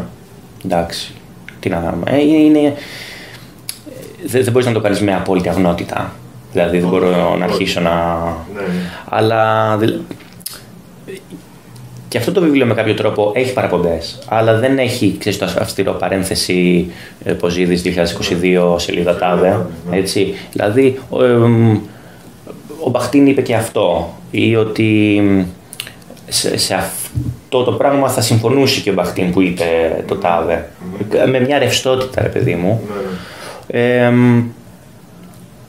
και η επιδίωξη αυτού ακριβώς του στοιχείου ήταν ότι αυτό το πράγμα δεν ήθελε να γίνει διπλωματική μου εργασία. Οπότε, ναι. Για τον ακαδημαϊκό λόγο είναι πολύ ωραίο πεδίο. Ο καθένας και κάθε μία μπορεί να κάνει μια προσπάθεια. Mm-hmm. Ωραία. Ε, γράφεις ότι το σύνηθες γραμματικό πρόσωπο που χρησιμοποιούμε όταν αναφερόμαστε στη λέξη λαός είναι το τρίτο. Ναι. Αν εξαιρέσουμε ότι η εξουσία χρησιμοποιεί το πρόσωπο αυτό εντάξει, για, για, για προφανείς λόγους, κάπως να υπάρχει κάποια απόσταση τέλος πάντων. Ε, και ότι έχουμε μάθει και εμείς να μιλάμε έτσι, να αναφερόμαστε στο τρίτο πρόσωπο όταν μιλάμε για τη λέξη λαός, επηρεαζόμενοι από τον καθεστωτικό λόγο. Ωραία. Ε, είναι μόνο αυτός ο λόγος που και εμείς πολλές φορές μιλάμε, λέμε ο λαός, δηλαδή που δεν τον ε, υιοθετούμε, γιατί Ναι. μπαίνουμε μέσα στο λαό και εμείς ας πούμε και μιλάμε σαν να είναι σε απόσταση. Ε, αυτό γίνεται γιατί ε, είναι έτσι η δομή της γλώσσας μας, Μμμ. όπου όταν ε, αναφερόμαστε σε ο- οτιδήποτε, σε οποιοδήποτε αρσενικό ουσιαστικό, ο τάδε, είναι ο γραμματικός κανόνας, είναι η γραμματική, η, η γραμματική δομή της γλώσσας μας που μετά μπαίνει τρίτο πρόσωπο. Δεν γίνεται δηλαδή. Ε, το άλλο είναι αστείο, είναι σαν, ε, το, και αντεστραμμένα είναι να μιλάω εγώ στον εαυτό μου για τον τρίτο ενικό σαν τον Ναπολέοντα, ρε παιδί μου. δηλαδή είναι γελίο. Αυτό είναι γελίο. Το άλλο το βρίσκω έτσι λίγο πιο α, πικάντικο ας πούμε το να, να, να λέμε ότι ο λαός θέλουμε. Ο λαός, όχι ο λαός θέλει, ε, δεν είναι κάπου εκεί έξω ο λαός και θέλει κάτι, ειδικά από τη στιγμή που κα- είναι γραμμένο σε ένα, σε ένα πλακάτι, σε ένα πανό στην πορεία, ότι το σωματείο μας θέλουμε. Έτσι, το, το σύνολό μας, το πλήθος μας, όλα αυτά είναι ενικός αριθμός και είναι ουσιαστικά που τα χρησιμοποιούμε στο, στο τρίτο πρόσωπο. Ωραία, δηλαδή το πλήθος μας, εμ, ή εμείς οι δύο, όχι, όχι εμείς οι δύο, ε, εμείς, ε, το σύνολο εδώ μέσα ε, πίνει καφέ. Ε, το σύνολο εδώ μέσα πίνουμε καφέ. Ο λαός θέλουμε κάτι, ο λαός διεκδικούμε κάτι, το, ό- όλα αυτά τα εμ, ε, συλλογικά α, ε, ουσιαστικά είναι λίγο πιο έτσι και, και σε κεντρίζουν λίγο σε, σε πώς που λέω, τι λέει εδώ, γιατί το λένε αυτό. Οπότε είναι αυτό που είπα για τον παιχνιώδη λόγο να βάλουμε τέτοια. Παρόλο που είναι ε, αντίθετα από, την, από ό,τι έχουμε συνηθίσει, από ό,τι έχουμε μάθει Σωστά. από την γλώσσα. Και δεν νομίζω ότι ε, ξέρεις ότι μ, ανοίγουμε ασκό του αιώλου ότι θα ευχηδαίσουμε τη γλώσσα, ότι θα την καταστρέψουμε ή οτιδήποτε, το οποίο σίγουρα κάποιοι το, κάποιες το σκέφτονται αυτό. Ε, είναι πολύ μικρό. Και, δεν, και δεν επηρεάζει, δηλαδή η γλώσσα θέλει να, να αποδώσει μια πραγματικότητα, να την απεικονίσει ας πούμε. Ε, οπότε το σύνολο είμαστε, ή ο λαός είναι πληθυντική έννοια, έχει Σωστά. πολύ κόσμο. Γιατί να μην την βάλουμε στο πληθυντικό. Σωστά. Ωραία. Αναφέρθηκες πριν και λες, ε, εντάξει είναι προφανές στο βιβλίο αυτό που θα σου πω τώρα, ότι υπάρχει γλώσσα των από πάνω και γλώσσα των από κάτω. Ωραία. Ε, είναι τόσο ακριβής αυτή, αυτή, αυτή το μήνυμα είναι τόσο ακριβή, δηλαδή... Όχι, Ε; όχι, όχι, δεν είναι. Δε- Δεν είναι ακριβής. Ε, μ, είναι, ναι. Σκέφτομαι τώρα κα- κάποια έργα επιστημονικής φαντασίας, ας πούμε, τα οποία είναι πολύ ξεκάθαρα το πάνω και το κάτω. Αλλά ειδικά πλέον σε μια κοινωνία η οποία μ, επικράτει μια ρευστότητα, ρε παιδί μου, μια ασάφεια, ας πούμε, και για τις κοινωνικές τάξεις πλέον, ε, ειδικά μετά την οικονομική κρίση, είναι πολύ χαόδη τα πράγματα. Είναι φυσικό, κατά συνέπεια, και οι γλώσσες που ε, μιλούνται να μην είναι τόσο ξεκάθαρες. Ε, μ, αλλά η, μια ομαδοποίηση είναι εφικτή. Ε, αυτό είναι, είναι εφικτή, είναι, είναι υπαρκτή ε, και γίνεται κατανοητή. Σίγουρα δεν είμαστε σε επίπεδα που ε, έτσι, αυτός, του, του αρχαϊσμού και της καθαρεύουσας που μιλούσαν οι ανώτερες τάξεις και, και που μόνο και που μιλούσαν αυτή τη γλώσσα ήταν δήλωση κοινωνικής τάξης σε σχέση με την απλή δημοτική του Λαουτζίκου. Ε, σε αυτό έχει βοηθήσει σίγουρα και το ίντερνετ, τα μέσα ε, ενημέρωσης και γενικά όλο, όλη αυτή η πληροφορία λόγου που υπάρχει. Ε, το σχολείο υποτίθεται προσπαθεί να, να βγάλει και μια πιο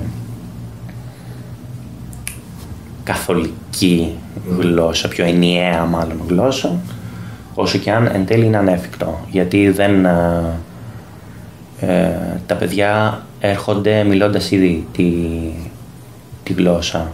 Αυτό το περιγράφει πολύ ωραία, άλλο ένα βιβλίο, ε, το περιγράφει πολύ ωραία η Άννα Φραγκουδάκη σε ένα πολύ ωραίο βιβλίο, «Γλώσσα και ιδεολογία», αντίστοιχο έτσι κοινωνιό γλωσσολογίας, ότι, και λέει ότι τα, τα παιδιά έχουν κατακτήσει ήδη τη γλώσσα όταν πηγαίνουν στο σχολείο ε, και την έχουν κατακτήσει χάρη στο συγκεκριμένο περίγυρό τους. Mm-hmm. Που ο περίγυρός τους δεν είναι ο ίδιος για κάθε παιδί. Ακόμα και αν είναι στην ίδια τάξη, ακόμα και αν κάθονται στο ίδιο θρανείο δύο παιδιά, έχουν συγκεκριμένο background. Mm-hmm. Και μιλάνε, χρησιμοποιούν λέξεις για συγκεκριμένες έννοιες. Mm-hmm. Ένα παιδί λέει σπίτι και εννοεί ένα διάρρη ε, στα πατήσια. Ένα άλλο παιδί εννοεί μία μεζονέτα στο κολονάκι αλλά χρησιμοποιούν τη λέξη σπίτι. Σωστός. Οπότε ναι, υπάρχει, υπάρχει ένα, μια διαφοροποίηση θα πω. Mm, ωραία. Ε, γράφεις, δεν υπάρχει φωνή αυτόνομη, ομιλία δίχως σχέση. Η γλώσσα επιτελείται μονάχα σε δεσμούς. Μονάχα τα δημόσια εκφωνήματα, αυτά τουλάχιστον όπου ανταποκρίνονται σε σχέσεις οντοτήτων και αναπνέουν ξεφεύγοντας από το γενικό σύστημα, το εγκλωβισμένο στα άγωνα επίπεδα μιας θύρας γραμματικής, είναι που έχουν ουσία να παρατηρηθούν, να διερευνηθούν και να γίνουν πεδίο δημόσιας παρέμβασης. Αυτή τη γλώσσα που περιγράφεις πριν, πιστεύεις ότι αυτή η γλώσσα υπάρχει μέσα στα σχολικά βιβλία; Η, η ενιαία γλώσσα, ας πούμε. Ναι, ναι. Ναι, ε, εννοείται ότι υπάρχει ο τρόπος ας πούμε, που διδασκόμαστε και κάποιοι διδάσκουμε τη γλώσσα. Ε, όλο βασικά το, το σύστημα, το εκπαιδευτικό, προσπαθεί να δημιουργήσει αυτή, αυτή την α, ψευδέστηση της ενιαίας α, γλώσσας, η οποία ξεκινάει από το πολύ φυσικό πρόταγμα ότι πρέπει να συνεννοηθούμε, ότι αυτή είναι η γλώσσα μας και αυτή τη μιλάμε όλοι. Ε, δεν τη μιλάμε όλοι με τον ίδιο τρόπο, δεν ε, χρησιμοποιούμε τις λέξεις με τους ίδιους στόχους, είναι κάτι διαφορετικό αυτό που κάνουμε είναι ουσιαστικά να περιορίζουμε τον πλούτο της γλώσσας. Γιατί και η γλώσσα ως μηχανισμός είναι ε, κάτι τεράστιο, κάτι αέναο, ανολοκλήρωτο, οπότε προσπαθούμε να το βάλουμε μέσα σε ένα σύστημα, σε βιβλία, σε αυστηρή γραμματική. Αυτό.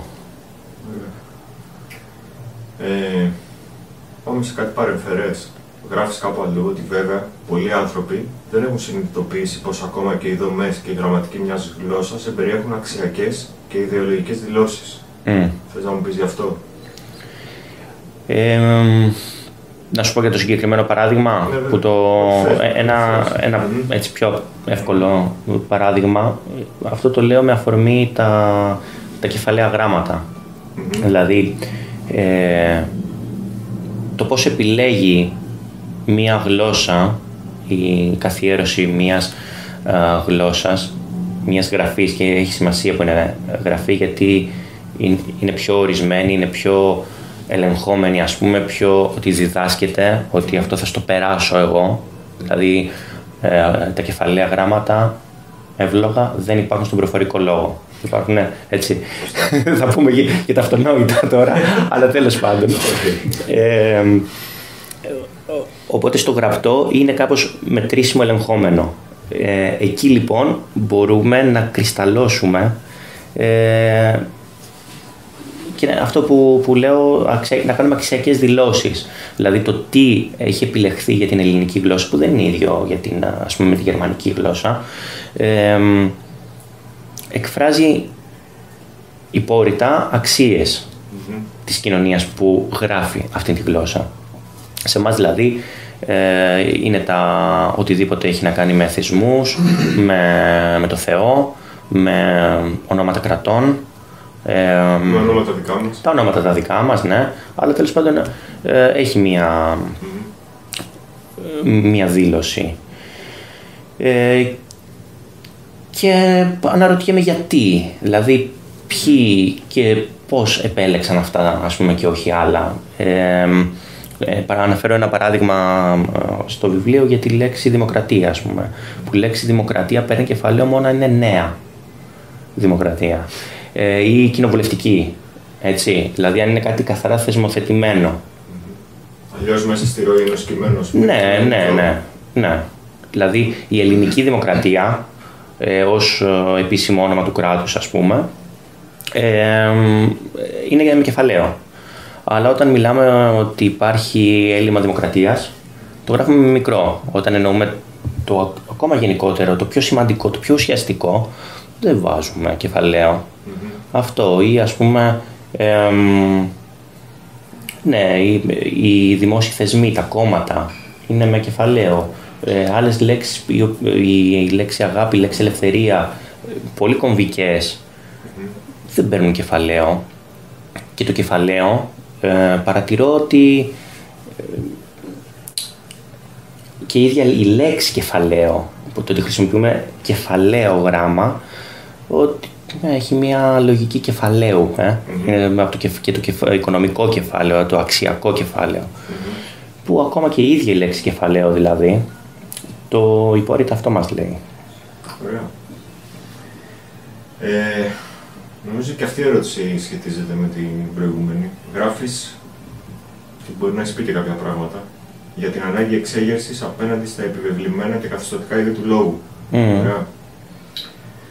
Και θέλω να σε ρωτήσω αν θεωρείς ότι η επαναστατική ριζοσπαστική τέλος πάντων γλώσσα που χρησιμοποιείται είναι και αυτή ένα είδος καθεστωτικού λόγου για τους χώρους που χρησιμοποιείται; Mm-hmm. Ε, καθεστω... Ναι, είναι επιβεβλημένο. Επιβεβλημένο, ναι. ναι. Δηλαδή, δεν είναι καθεστωτική. Ο, το καταλαβαίνω. Έχει γίνει καθεστώς, ας πούμε. Ναι, ναι, ναι. ναι, ναι. Αυτές οι λέξεις, mm-hmm. αυτές οι έννοιες, με αυτό το περιεχόμενο. Ναι, ε, αυτές οι φράσεις, αυτή η δομή κειμένου. Mm-hmm. Ε, συμφωνώ, ναι. Ε, νομίζω ότι αυτό είναι ένα πολύ κομβικό και πολύ βαθύ πρόβλημα γενικότερα μέσα στα είδη του λογου ότι δημιουργούν σταθερούς μέσα σε κάθε περιβάλλον, σε κάθε δημόσια σφαίρα, που, δημόσια σφαίρα επικοινωνίας που χρησιμοποιείται η γλώσσα, αρχίσουν και αναπτύσσονται συγκεκριμένοι τύποι που παγιώνονται. Ε, για μένα η παγίωση είναι πρόβλημα ε, στη γλώσσα. Είναι στασιμότητα, είναι ε, ακινησία. Ειδικά το κινηματικό κομμάτι λέγεται κινηματικό, θέλει κίνηση. Ε, θέλει κίνηση και στη γλώσσα. Ακόμα και σε αυτό το επίπεδο. Ναι, και ε, ίσως κυρίως σε αυτό. Θα πρέπει να είμαστε, το, όπως είπα πριν, πιο ναι. ευλίγιστοι, πιο να, να βγάζουμε σπίθες, να κινητοποιούμε κόσμο. Ε, αντίθετα, νιώθω ότι ε, μπαίνουμε μέσα σε μια... Αυτό σε μια δικιά μας πολιτική ορθότητα ανάποδη, η οποία δεν είναι βοηθητική, δεν είναι εξυπηρετική και ε, σε μεγάλο βαθμό γίνεται για να επιβεβαιωθεί μια σοβαροφάνεια η οποία προσδίδει κύρος είτε μέσα στις συνελεύσεις είτε με το να γράψουμε το τάδε κείμενο και να έχουμε μια απεύθυνση η οποία βγάζει ένα συγκεκριμένο ε, χαρακτήρα που νομίζω ότι δεν το χρειαζόμαστε, δεν το έχουμε ανάγκη. Και κυρίως δεν το έχουμε ανάγκη γιατί έχουμε δίκιο. Αυτό νιώθω. Δηλαδή έχουμε να πούμε πολύ απτά, πολύ συγκεκριμένα πράγματα ε, που δεν χρειάζεται να τα βάζουμε σφιχτά, κλειστά τέτοια. Αντίθετα και με, δηλαδή ειδικά μας θέλουμε να προσελκύσουμε κόσμο. Πρέπει ο λόγος μας να είναι να μην, να μην είναι έτσι στήρος τελείως. Αυτό νιώθω. Ωραία. Ε, λέμε συνήθως ότι οι αναρχικές ομάδες ανήκουν στο λεγόμενο αναρχικό αντιεξουσιαστικό ελευθεριακό χώρο. Και σπάνια γίνεται αναφορά σε κίνημα. Τουλάχιστον mm. πόσο βλέπω εγώ και έχω καταλάβει, ωραία. Θα μου πεις, γιατί κατά τη γνώμη σου μπορεί να συμβαίνει αυτό, να αναφερόμαστε σε χώρο. Ε, και αν λεκτικά ρε παιδί μου και ως περιεχόμενο θεωρείς ότι είναι δύσκολος ο δρόμος από το να είναι κάτι να αυτοπροσδιορίσει, να προσδιορίσει απ' έξω ως χώρος μέχρι να γίνει κίνημα. Ε, είναι δύσκολο, ε. Ναι. Είναι, πολύ δύσκολο. Ε, είναι λίγο απεσιόδοξο τώρα αυτό, α σου πω την αλήθεια. Δηλαδή, μάλλον. Το ερώτημα. Ναι, το τι μου βγαίνει να πω, αλλά τέλος ναι. πάντων. Θα πεις ε, θες, αλλά είναι, μια, είναι μια διαπίστωση νομίζω που κάνω. Ναι, νομίζω, που ναι, ναι, ναι, συμφωνώ. συμφωνώ. Ε, ε, αρχικά με προβληματίζει το, ο χώρος, η φάση, ξέρεις, τα λίγο τα πολύ αόριστα και γενικά. Έχει γράψει ένα κείμενο ωραίο. Ναι, ναι, ναι, ναι. Γιατί ε, με προβληματίζει και νομίζω αρκετά, οι αρκετά κοντινοί μου άνθρωποι με τους οποίους ούτως ή άλλως το συζητάμε για το συγκεκριμένο κείμενο mm-hmm. ε, είπαν ναι, ναι, ότι... Ναι. Ε, ναι, είναι, είναι ε, πρόβλημα. Ο αντίλογος είναι αυτό που είπε ένας φίλος μου, που γενικά και αυτό το συγκεκριμένο ε, κείμενο που, που αναφέρομαι στο θέμα, ε, έχει λίγο μορφή έτσι, διηγήματος διαλόγου, γιατί ήταν και μια συζήτηση που είχαμε κάνει με ένα φίλο στο Ρέθυμνο. Ε, και ο αντίλογος που είπε ότι είναι εύλογο τα κομμάτια αυτού του χώρου να ζητήσουν μια φυγή ουσιαστικά από το πολύ ακαδημαϊκό, ορθολογικό και εξειδικευμένο ε, λεξιλόγιο των περασμένων γενεών ως ε, ε, έκφραση της άρνησής τους σε αυτό. Σωστή παρατήρηση. Ναι, είναι, είναι εύλογο. Ναι, ναι. Ναι, και εγώ χαίρομαι δηλαδή που έχω τέτοιους φίλους, ας πούμε, να, ναι. να μου λένε και να μπάστε, παιδί μου, Ε, οπότε, ναι, μεν υπάρχει αυτή η παραδοχή που συμφωνώ και εγώ, ωστόσο δεν γίνεται αυτή η ομάδα ανθρώπων να προσδιοριζόμαστε τόσο αόριστα και γενικά, γιατί είμαστε κατεξοχήν η κοινωνική ομάδα που έχει να πει τα περισσότερα και τα πιο συγκεκριμένα. Μου φαίνεται πολύ αντιφατικό αυτό. Ίσως είναι ειλικρινές με την έννοια ότι δεν αισθανόμαστε ακόμα Ότι δεν, δεν, ε, δεν νοούμαστε ως κίνημα ακόμα, είμαστε οι ίδιοι άσπαρτοι ή ότι ψάχνουμε τα πατήματά μας, το δρόμο μας που είναι σεβαστό. Οπότε ίσως γι' αυτό μπορεί ε, ο κόσμος ε, να νιώθει ότι δεν, ε, δεν μπορεί να εκφραστεί, να αυτό προσδιοριστεί μάλλον ως κίνημα. νομίζω ότι δεν είναι γλωσσικό, γλωσσολογικό να βάλουμε μπροστά αυτή τη λέξη. Πρέπει να, να σηκώσουμε μανίκια και να στρωθούμε στη δουλειά νομίζω για να γίνει αυτό. Ότι είναι πραγματικό ας πούμε, δεν είναι θέμα. Ναι, κάπως σχετίζεται με την πραγματικότητα αυτό. Ωραία. Ε, με αφορμή τη μετάφραση του βιβλίου του Φερέρ που έχεις κάνει από τις εκδόσεις Τάση Εκπίπτοντε, γράφεις ένα κειμενάκι στο βιβλίο, ένα κείμενο για τη μετάφραση στο βιβλίο σου ενώ. Στο γλωσσικό αντάρτικο, ναι. Στο αντάρτικο, ναι. Που λες ότι η μετάφραση είναι πολιτική πράξη, είτε συνειδητά είτε ασυνείδητα. Ναι. Γιατί το λες αυτό; Ε, είναι, ήταν σκέψεις, επειδή δούλευα παράλληλα, ε, έγραφα αυτά τα άρθρα και έκανα τη μετάφραση, ενώ ούτε είμαι μεταφραστής, ούτε έχω ναι, ναι. σπουδάσει κάτι σχετικό. Αλλά νιώθω ότι με κάποιο τρόπο βάζουμε λόγια στο στόμα κάποιου άλλου, ρε παιδί μου. Γιατί, ναι, γιατί χρησιμοποιούμε τα δικά μας λόγια να πούμε τι είπε ε, κάποιος άλλος, κάποια άλλη. οπότε, αναπόφευκτα με το να διαμεσολαβούμε εμείς και να χρησιμοποιούμε το δικό μας λόγο, παρεμβαίνουμε χρησιμοποιώντας τη δικιά μας γλώσσα. Και αυτή η παρέμβαση ε, μπορεί να είναι και συνειδητά πολιτική πράξη. Μπορεί να είναι, δηλαδή, έχω ένα παράδειγμα με ένα ε, καταστασιακό σύνθημα και το πώς μπορεί να μεταφραστεί. Ε, είτε ασύνειδα γιατί ε, πολλές φορές δεν το συνειδητοποιούμε ή κάποιος ο οποίος έχει εστιάσει στην πράξη της μετάφρασης μπορεί να, να μην το σκέφτεται ότι εκείνη τη στιγμή επιλέγει μια λέξη η οποία έχει την τάδε φόρτιση το οποίο, θα σου πω ένα, ένα άλλο παράδειγμα, όχι αυτό που έχω στο βιβλίο ας πούμε ε, το είχε γράψει πολύ ωραία ο Ταχτσής, ο, ο οποίος ε, έκανε την απόδοση των βατράχων του αριστοφανη Ε, και το λέω αυτό το παράδειγμα γιατί η Βάτραχη ήταν, ε, το κείμενο του Αριστοφάνη ήταν το θέμα της ε, διπλωματικής μου. Ε, κάποια στιγμή ο Αριστοφάνης θέλει να ζητήσει αμνηστία για κάποιους ε, ε, πολιτικούς που ε, στον Πελοποννησιακό πόλεμο, τώρα δεν θυμάμαι τι, τι ακριβώς τι, ε, είχε γίνει και είχαν τιμωρηθεί.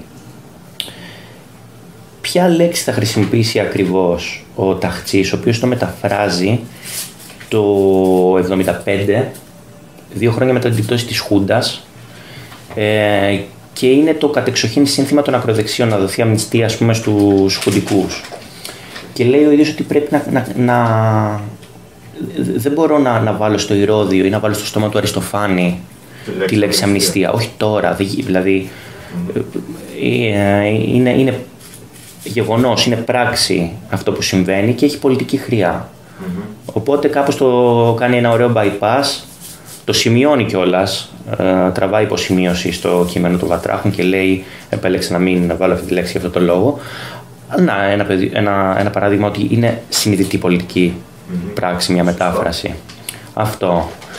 Και άμα είναι να σου πω και το άλλο από το βιβλίο που το, το βρίσκω αρκετά διαφωτιστικό που είναι το τραγούδι του John Lennon ε, Power to the People που είναι το ε, σύνθημα αυτό το οποίο είναι ε, καμιά φορά το, το, το, έχει τύχει να το κάνω και σαν τεστ ας πούμε έλα να σου μετέφρασέ μου αυτό το Power to the People ε, Power στα αγγλικά σημαίνει και δύναμη και εξουσία.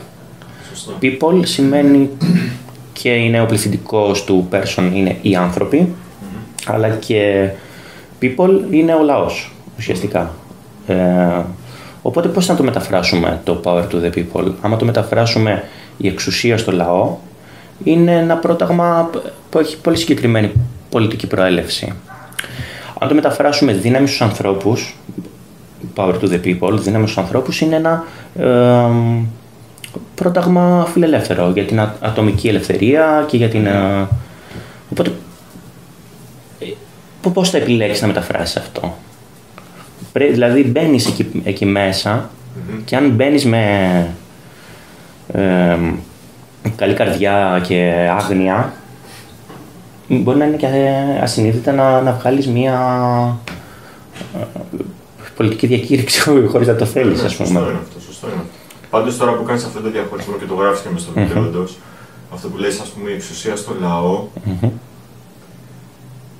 είναι ένα σύνθημα που από ό,τι θυμάμαι το είχε ο Ανδρέας Παπανδρέου σε σχέση με τις εκλογές του Οκτώβρη του 1981. Α, ναι, το 81. Okay. Η εξουσία στο λαό. Είχε ακούσει Τζον Λένον λοιπόν, ο Παπανδρέου. Okay. Και το είχε μεταφράσει με τον τρόπο. Η εξουσία, ναι. ότι και αυτό να. μπορεί να οικειοποιηθεί με κάποιο τρόπο. Ρε, εννοείται, εννοείται. Δεν πήρε ποτέ ο λαός στην ουσία, ο Ανδρέας. Ο Ανδρέας, ναι, ναι. Αλλά για το λαό πάντα. Ναι. Για το καλό του λαού. Για το καλό του λαού, ναι. Ο οποίος λαός είναι κάτι έξω από εμά. ναι, σωστά, αυτό που λέγαμε πριν. Ναι. Ε, ναι, και έχουμε και το πιο παλιό, ας πούμε, αντίστοιχο ε, εμφυλιακό δημοκρατία-λαοκρατία που χρησιμοποιούσαν την έννοια λαοκρατία ε, το κουκουέ που πάλι δηλώνεις σε πολιτική θέση. Αυτό δεν έχει να κάνει με τη μετάφραση, αλλά ότι ε, ε, είναι, είμαστε λίγο σε τόσο κρίσιμες λέξεις, είμαστε λίγο πάνω σε λεπτό πάγο κάπως, ότι, ή μάλλον ακροβατούμε. Αυτό. Ωραία. Ε, θα το πω τώρα. Αυτή η ερώτηση μπορεί να είναι μαλακιά που θα σου κάνω. αλλά θα στην κάνω. Και η απάντηση που θα σου δώσω μπορεί να είναι μαλακιά. Ωραία, μια χαρά. Οπότε θα έρθουμε στα ίσα μετά. Τέλεια. Μαλακιά ερώτηση. λοιπόν, η ελληνική γλώσσα έχει την ίδια λέξη για το όργανο, τη γλώσσα έτσι, που έχουμε μέσα ναι. στο στόμα μας. Ναι, ναι. Και την ίδια λέξη για τη γλώσσα που μιλάμε. Ναι. Σωστά. Ναι, ναι, ναι. Η αγγλική, για παράδειγμα, έχει για το όργανο της γλώσσας τη λέξη tongue. Ναι, ναι. Και για τη γλώσσα που μιλάνε τη λέξη language. language. Ναι. Ωραία. Γι' αυτό σου λέω τώρα την μαλακιά ερώτηση. Έχεις ιδέα ή μπορείς να σκεφτείς τι μπορεί να σημαίνει αυτό, δηλαδή. Αυτός ο διαχωρισμός. Ναι, αυτός ο διαχωρισμός, ναι. Να σκεφτώ ότι ε, αυτό το διαχωρισμό τι μπορεί να σημαίνει. δεν ξέρω, να σου πω την αλήθεια. Αυτό σου ε, ερώτηση. Εγώ Ναι, ισχύει. Αυτό τώρα θέλει λίγο σκέψη, ναι, θέλει μερικές μπύρες ακόμα, έτσι για λίγο. Ε, ναι, ε, σίγουρα αυτή για την ελληνική λέξη υπάρχει από τα αρχαία. Ε, αλλά ο διαχωρισμός τώρα ο, στην αγγλική δεν ξέρω, θα, να το ψάξω και να, okay. Εντάξει, να το σκεφτώ λίγο. Αυτή είναι μαλακά και παρακινδυνευμένη. Μπράβο, όχι. Ωραίες είναι παρακινδυνευμένες, αλλά τώρα με πιέζει και λίγο προετοίμαστο. Ναι, εντάξει, τώρα πού να το ξέρεις και εσύ αυτό. Εντάξει. Κάτι θα, θα το σκεφτώ. Δηλαδή είναι ωραίο παιδάκι μου, ξέρεις. Εντυπωσιακό δεν είναι, αλλά θα μπορούσε και η ελληνική γλώσσα να έχει μια άλλη λέξη για το όργανο mm-hmm. της γλώσσας και άλλη λέξη για αυτό που μιλάμε. Έχουμε τη λέξη λόγος. Έτσι, που μου αρέσει πάρα πολύ η λέξη λόγος. Έχει να κάνει με τη λογική, ε; Και η λέξη λόγος έχει να κάνει με πολλά πράγματα. Ε, έχει να κάνει με την ε, αναλογία, ο λόγος είναι η αρμονία ας πούμε. Έχει να κάνει με τη λογική, τη, έχει να κάνει με την αιτία, έχει να κάνει με την πράξη της ομιλίας ή της γραφής προφορικός λόγος, γραπτός λόγος. Ε, νιώθω ότι η ελληνική γλώσσα όχι θέλω να, να ευλογήσω, ναι, ναι. γιατί πάρα πολλοί ε, έχουν πατήσει διαχρονικά στο ότι με αφορμή την ελληνική γλώσσα ε, εστιάζουν ή επεκτείνουν μάλλον στο γενικότερο μεγαλείο της Ελλάδας. Ε, Αλλά να πω την αλήθεια ότι εμένα μου αρέσει πολύ που μιλάω αυτή τη γλώσσα και, ε, και σε σύγκριση με άλλες γιατί έχει αυτή τη, τη φοβερή ε, ποιητικότητα, δηλαδή να, μάνι μάνι η λέξη γλώσσα είναι και η, το, ο μηχανισμός της ομιλίας και της γραφής, είναι και το όργανο, η λέξη λόγος είναι τόσα πράγματα, ότι μπλέκουμε, ότι μπορεί να είναι πάρα πολλά, το οποίο νομίζω βοήθησε πολύ στην ανάπτυξη και της ε, ποιήσης και της ε, ελληνικής φιλοσοφίας. Αυτό. Αλλά τώρα για αυτόν τον διαχωρισμό της αγγλικής... Ναι, μωρέ, εντάξει τώρα, ναι. Ναι, θα το... Ναι. Θα επανέλθουμε. Ωραία, ωραία. Ε... Λοιπόν, τώρα θα σου κάνω μια ερώτηση που έχει να κάνει πάλι με το σχολείο. Αναφέρθηκες κάπως πριν. Mm-hmm. Και όπως είπες και πριν, εσύ ο ίδιος είσαι δάσκαλος ειδικής αγωγής. Ναι. Και είσαι στο δημόσιο σχολείο. Στο δημόσιο, ναι. Ωραία. Εδώ να σου πω ότι υπάρχει πάλι μια ε, αλλάζει το περιεχόμενο γιατί το σχολείο αυτό μόνο δημόσιο δεν είναι. Θα μπορούσε να γίνει, είναι κρατικό. Είναι κρατικό σχολείο. Κράτης, πούμε, Τέτοια είχαμε πει και στην παρουσίαση στο, για το μοντέρνο σωστό, σχολείο. Σωστό. Ναι. Και θέλω να μου πεις το εξής: Μπορεί ένας δάσκαλος σε ένα τέτοιο σχολείο, στο κρατικό σχολείο, στο δημόσιο, ας πούμε, να. Θέλω να πω, καταρχάς πόσο αυστηρό είναι το πρόγραμμα που να μπορεί ένας δάσκαλος να κάνει και πράγματα ή τα, αυτά που πρέπει να πει τέλος πάντων, που είναι αναγκασμένος να πει, να τα πει με ένα διαφορετικό τρόπο, ώστε να οδηγήσει τη σκέψη των παιδιών σε ένα άλλο τοπίο. Από αυτό το στήρο, ας πούμε, ότι παιδιά σήμερα έχουμε αυτό, εκείνο το άλλο. Και στο λέω αυτό με πια, όχι μόνο με αυτήν την αφορμή, μια προσωπική μου αφορμή. Όταν ήμουν εγώ, ας πούμε, τρίτη ηλικίου, Δευτέρα, τώρα δεν θυμάμαι που, τι ήμουν, το 89-90 εκεί, είχα μια φιλόλογο που κάναμε αντιγόνη, η οποία ήταν πολύ γαμάτη. Δηλαδή μας έλεγε όλα αυτά που έπρεπε να μας πει. Που για μένα έπρεπε να μα πει. Και κατά κάποιο τρόπο η σκέψη της και ο τρόπος που τα έλεγε καθόρισε ένα κομμάτι μου σε αυτά που άρχισα να διαβάζω μετά, να, να θέλω τέλος πάντων. Εντάξει. Ναι, και τι θυμάσαι μετά από 30 θυμάμαι, ναι. χρόνια. Ναι, έτσι. ναι, ναι, τι θυμάμαι, ναι. Μπορεί ο δάσκαλος σε ένα τέτοιο πλαίσιο να ελιχθεί κάπως και να κάνει πράγματα. Μπορεί, ναι. Μπορεί, ε. Ε, Θέλει τόλμη. Μμμ. Ε, γίνεται. Το πιστεύω, το έχω δοκιμάσει. Ε, θ- αλλά ειλικρινά θέλει τόλμη, θέλει καλό στο μάχη Μμμ. από τον περίγυρο, δηλαδή ε, δεν το κάνεις ελαφρά την καρδία. Πρέπει να το αιτιολογήσεις και πρέπει να είσαι πολύ καλός πώς θα το αιτιολογήσεις και στους γονείς που θα, θα επιλέξεις είτε μια συγκεκριμένη ε, παιδαγωγική μεθοδολογία, θα, επι- ας πούμε να κάνεις συμβούλια με τους μαθητές, να κάνεις συνελεύσεις με τους μαθητές, πρέπει να το υποστηρίξεις αυτό και στους άλλους συναδέλφους, γιατί είναι πολύ πιθανό να μην τους αρέσει, να μην θέλουν να γίνεται κάτι τέτοιο ή Είναι, είναι και δημιουργεί ένα κακό προηγούμενο. Δημιουργεί κακό προηγούμενο. Κακό εντός εισαγωγικών, κατάλαβες. Ναι, κάποιοι μπορεί, μπορεί και για ε, πολιτικούς λόγους να μην τους αρέσει, άλλοι μπορεί επειδή δεν έχουν τα κότσια ή ότι αυτά που κάνετε είναι λιγραφικά και τέτοια ας πούμε. Ε, οπότε θέλει μια πολυεπίπεδη τόλμη απέναντι σε πολύ κόσμο, απέναντι στον εαυτό σου, να είσαι καλά με τον εαυτό σου ότι πάμε να κάνουμε αυτό το πράγμα. Είναι μια δύσκολη πράξη. Γίνεται όμως και αξίζει να γίνεται, αξίζει όλο αυτό το, το άγχος, το ρίσκο, η ένταση ε, που σου βγάζει. Γιατί είπαμε, η- το σχολείο είναι μάχη. Δε- Δεν υπάρχουν ε, ελαφριές μάχες, δεν υπάρχουν... ε, ναι, αλλά γίνεται. Γίνεται. Ναι, και ε, δε- δεν μιλάω για μένα, μιλάω για πολλούς δασκάλους και δασκάλες, πολλούς αναλογικά, έτσι, Ναι, ναι. Ε, που το παλεύουν. Υπάρχει μια τέτοια πραγματικότητα αυτή τη στιγμή στα σχολεία, η οποία είναι αισιόδοξη και ελπίζω να συνεχίσει έτσι. Ωραία. Λοιπόν, πάμε τώρα στον Μπαχτίν. Α, ωραία. που ήδη είπαμε, Έχουμε ναι. πει, ναι, είπες για το καρναβάλι και τον Μπαχτίν, είπες και κάποια άλλα πράγματα που εγώ δεν τον ήξερα και μέσω εσού ασχολήθηκα. Όχι ότι. Κυρίως ε, μέσω εκείνης της διαδρομής Θεσσαλονίκη-Αθήνα στο, Σωστά, σωστά. στο Κάτι αμάξι. είχαμε πει ρε εσύ τότε. Σου είχα πει ότι το ξέρω εγώ, κάπου τον έχω δει. Κάπου, Στην ναι. βιβλιογραφία, αλλά δεν θυμάμαι πού. Μμμ. Τέλος πάντων. Και έγινε και εμένα αγαπημένος μου. Ωραία. Βρήκα Χαίρομαι πολύ γι' αυτό. έτσι, ωραία τη σκέψη του, ρε παιδί μου. Και θέλω να μου πεις. Ε, Καταρχάς, τι σημαίνει για τον Μπαχτίν ο όρος ανολοκλήρωση; Και αυτό σου άρεσε, ε; Μου άρεσε πάρα πολύ αυτό. Τέλεια.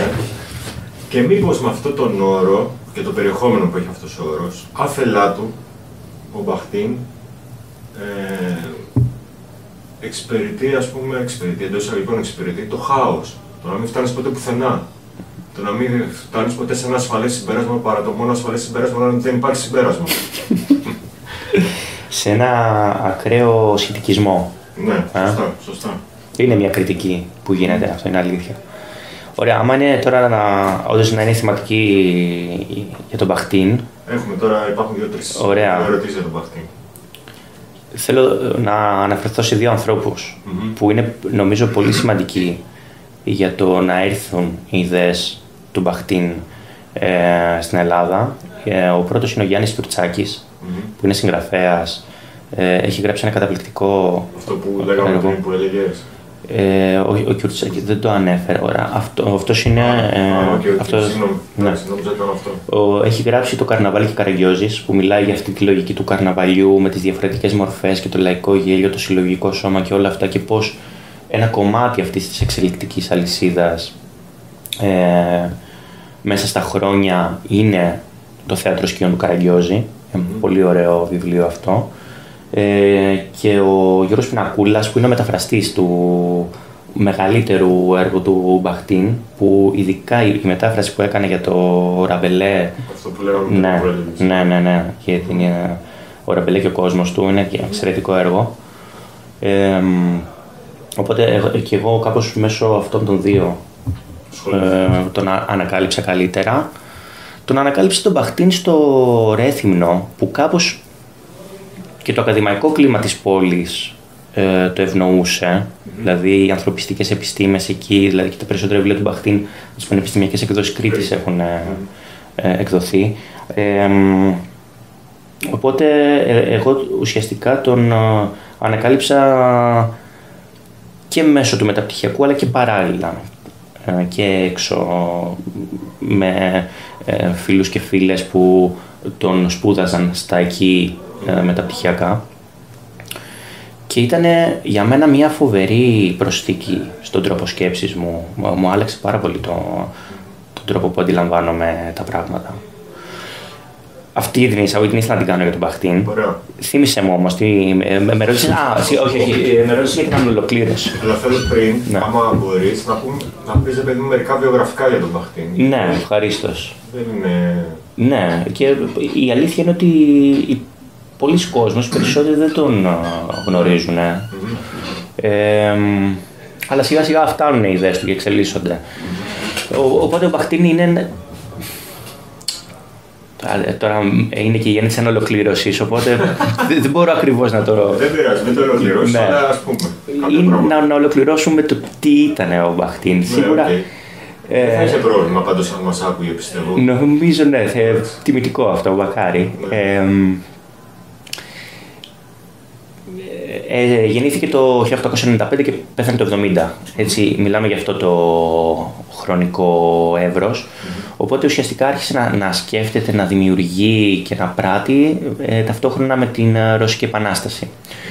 Ε, ήταν φοβερά πολυμαθής. Είχε, δηλαδή, είχε σπουδάσει ιστορία, θεωρία λογοτεχνία, κοινωνιολογία, ψυχολογία. Είχε, έχει πάρα πολλά τέτοια και γι' αυτό δεν, δεν μπορώ ακριβώς να τον ορίσω. Ε, ασχολήθηκε περισσότερο με τη θεωρία λογοτεχνίας ε, και με βάση ας πούμε μελέτες για τον Ντοστογεύσκη ξέφυγε πάρα πολύ και πήγε στην ε, γλωσσολογία και σε άλλα ε, αντικείμενα, στην κοινωνιολογία, στη ψυχολογία. Ε, με, με βάση τη μελέτη του για το Ραμπελέ και το Γαργαντούα πήγε στο στην ανθρωπολογία που είπα πριν για το καρναβάλι, όλα αυτά τους έβαζε ένα μαρξιστικό υπόβαθρο. Είπαμε, έχει γράψει το βιβλίο Μαρξισμός και Φιλοσοφία της Γλώσσας, που είπαμε στην αρχή ότι εκδόθηκε από το όνομα του Βολόσινοφ.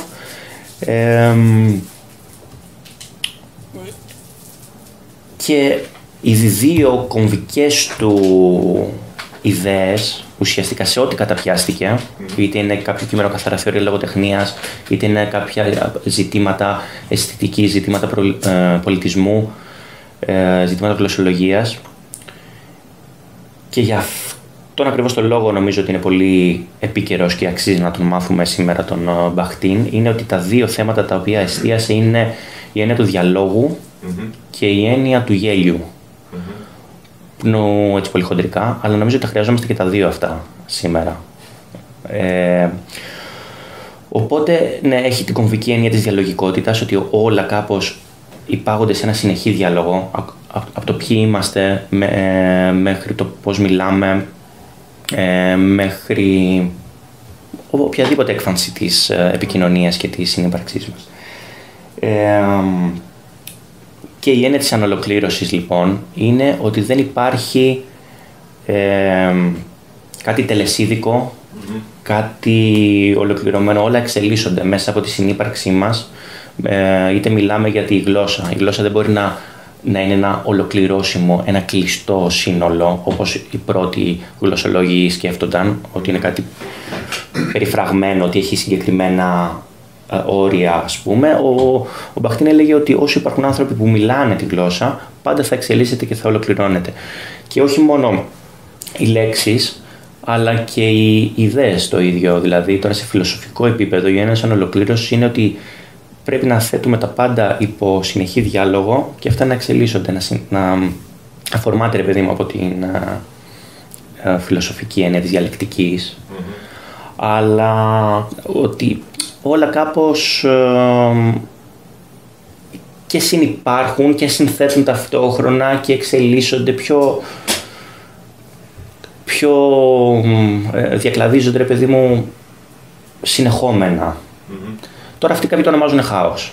Ναι, ότι θα γίνει χάος αυτό το ναι. πράγμα. Ε,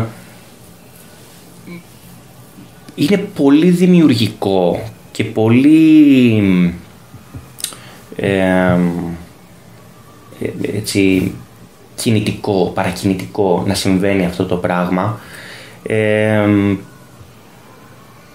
για να το αποκαλέσουμε χάος. Είναι η εξέλιξη του ανθρώπινου λογισμού αυτό το πράγμα. Κάποιοι θα μπορούσαν να ονομάσουν χάος μια, μια ακραία ελευθεριακότητα, κάπως. δε, έχει πολύ αρνητικές συνδηλώσεις το χάος, γιατί χρησιμοποιούνται από συγκεκριμένο κόσμο και έχουν συγκεκριμένο τρόπο με τον οποίο παρεμβαίνουν. Νομίζω ότι ε, αυτή η, η διάθεσή του για μη ολοκλήρωση, αυτή να είναι η ανολοκλήρωση, ε, έχει, μπορεί να έχει πολύ θετικές προεκτάσεις και είναι, είναι μια πραγματικά, ένας, ένας πραγματικά ελευθεριακός τρόπος σκέψης. Ωραία. Άρα, άρα, ο Μπαχτίν, ας πούμε, την θεωρία της ανολοκλήρωσης, την ολοκλήρωσε, άστα ε, όχι. όχι. Έγραφε πιο διάσπαρτα, ρε παιδί μου. Δεν ήθελε να φτιάξει και το έλεγε κιόλας. Άρα υποστήριζε αυτό που έλεγε και στην πραγματικότητα. Έμπρακτα, έμπρακτα ναι. ναι. Και ήταν συνειδητός τρόπος. Άμα δεις δηλαδή τη γραφή του, αν εξαιρέσουμε το. Ε, το μαρξισμός και η φιλοσοφία της γλώσσας και το, αυτό και το ραμπελέ. Τα άλλα του έργα είναι πιο... έχουν μια αποσπασματική για να μην είναι αυτοαναιρούμενα. Αυτό έκανε ο, ο Μπαχτίν. Ε, αυτό, ναι. Ωραία. Αναφέρθηκες λίγο πριν για, το, για τη διαλεκτική, ότι είχε σχέση ας πούμε με τη διαλεκτική, ξέρω εγώ. Και θέλω να σε ρωτήσω τις διαφορές και τις ομοιότητες που είχε η διαλεκτική του Μπαχτίν με την Αιγελιανή, τη Μαρξική. Ναι, ναι, την Αιγελιανή, κατ' επέκταση. Ναι, είναι τώρα δύσκολο. Είναι αρκετά δύσκολο τώρα. Ε, ε, χοντρά, χοντρά. Χοντρά, χοντρά, ναι. ναι ε, η κριτική που έκανε ο Μπαχτίν ήταν τελείως έμπρακτη. Mm-hmm. Ότι στο όνομα της μαρξικής διαλεκτικής ε, παίρνουν σε κεντρική γραμμή. Mm-hmm. Καταλαβες. Ο Μπαχτίν δεν το δεχόταν αυτό. Ναι, ναι. Δηλαδή, ευχαρίστω να συνθέσουμε, αλλά θα γίνει αυτό εν τέλει. Δεν ήταν στην ουσία της σύνθεση. Εγώ έτσι το αντιλαμβάνομαι ε, πολύ χοντρικά και αυτό ο Μπαχτίν είναι λίγο πιο ξεκάθαρος όταν μιλάει ας πούμε για την διαλογικότητα σε, στις πολιτισμικές σπουδές. Για το, στη μελέτη πολιτισμού ας πούμε για την, α, γιατί κάπως έτσι θα μπορούσε να το, να, να το πει δημόσια μάλλον στην, στην εποχή, στο, ναι, εκεί που έζησε. το έντυνε ας πούμε κάπως αντιπεριαλιστικά ότι στη συνύπαρξη δύο πολιτισμών θα συνθέσουν, αλλά ο ένας θα επιβληθεί του άλλου. Μέσα από τη διαλογικότητα, εκεί βρίσκει ένα πεδίο διαφοράς, είναι ότι θα είναι μια σύνθεση παύλα Το οποίο εν τέλει από τα δύο δεν φτιάχνει ένα η σύνθεση, από τα δύο φτιάχνει τρία. Δηλαδή παραμένουν και τα δύο προηγούμενα και, άλλο ένα.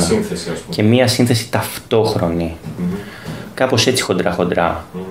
Βέβαια τώρα κάποιοι πιο με πιο οικονομική λογική πάλι θα, θα υπάρχει κριτική ότι άμα απλώς φτιάχνουμε και εξελισσόμαστε και περισσότερα, περισσότερα, περισσότερα διακλαδός, διακλαδός, χάος.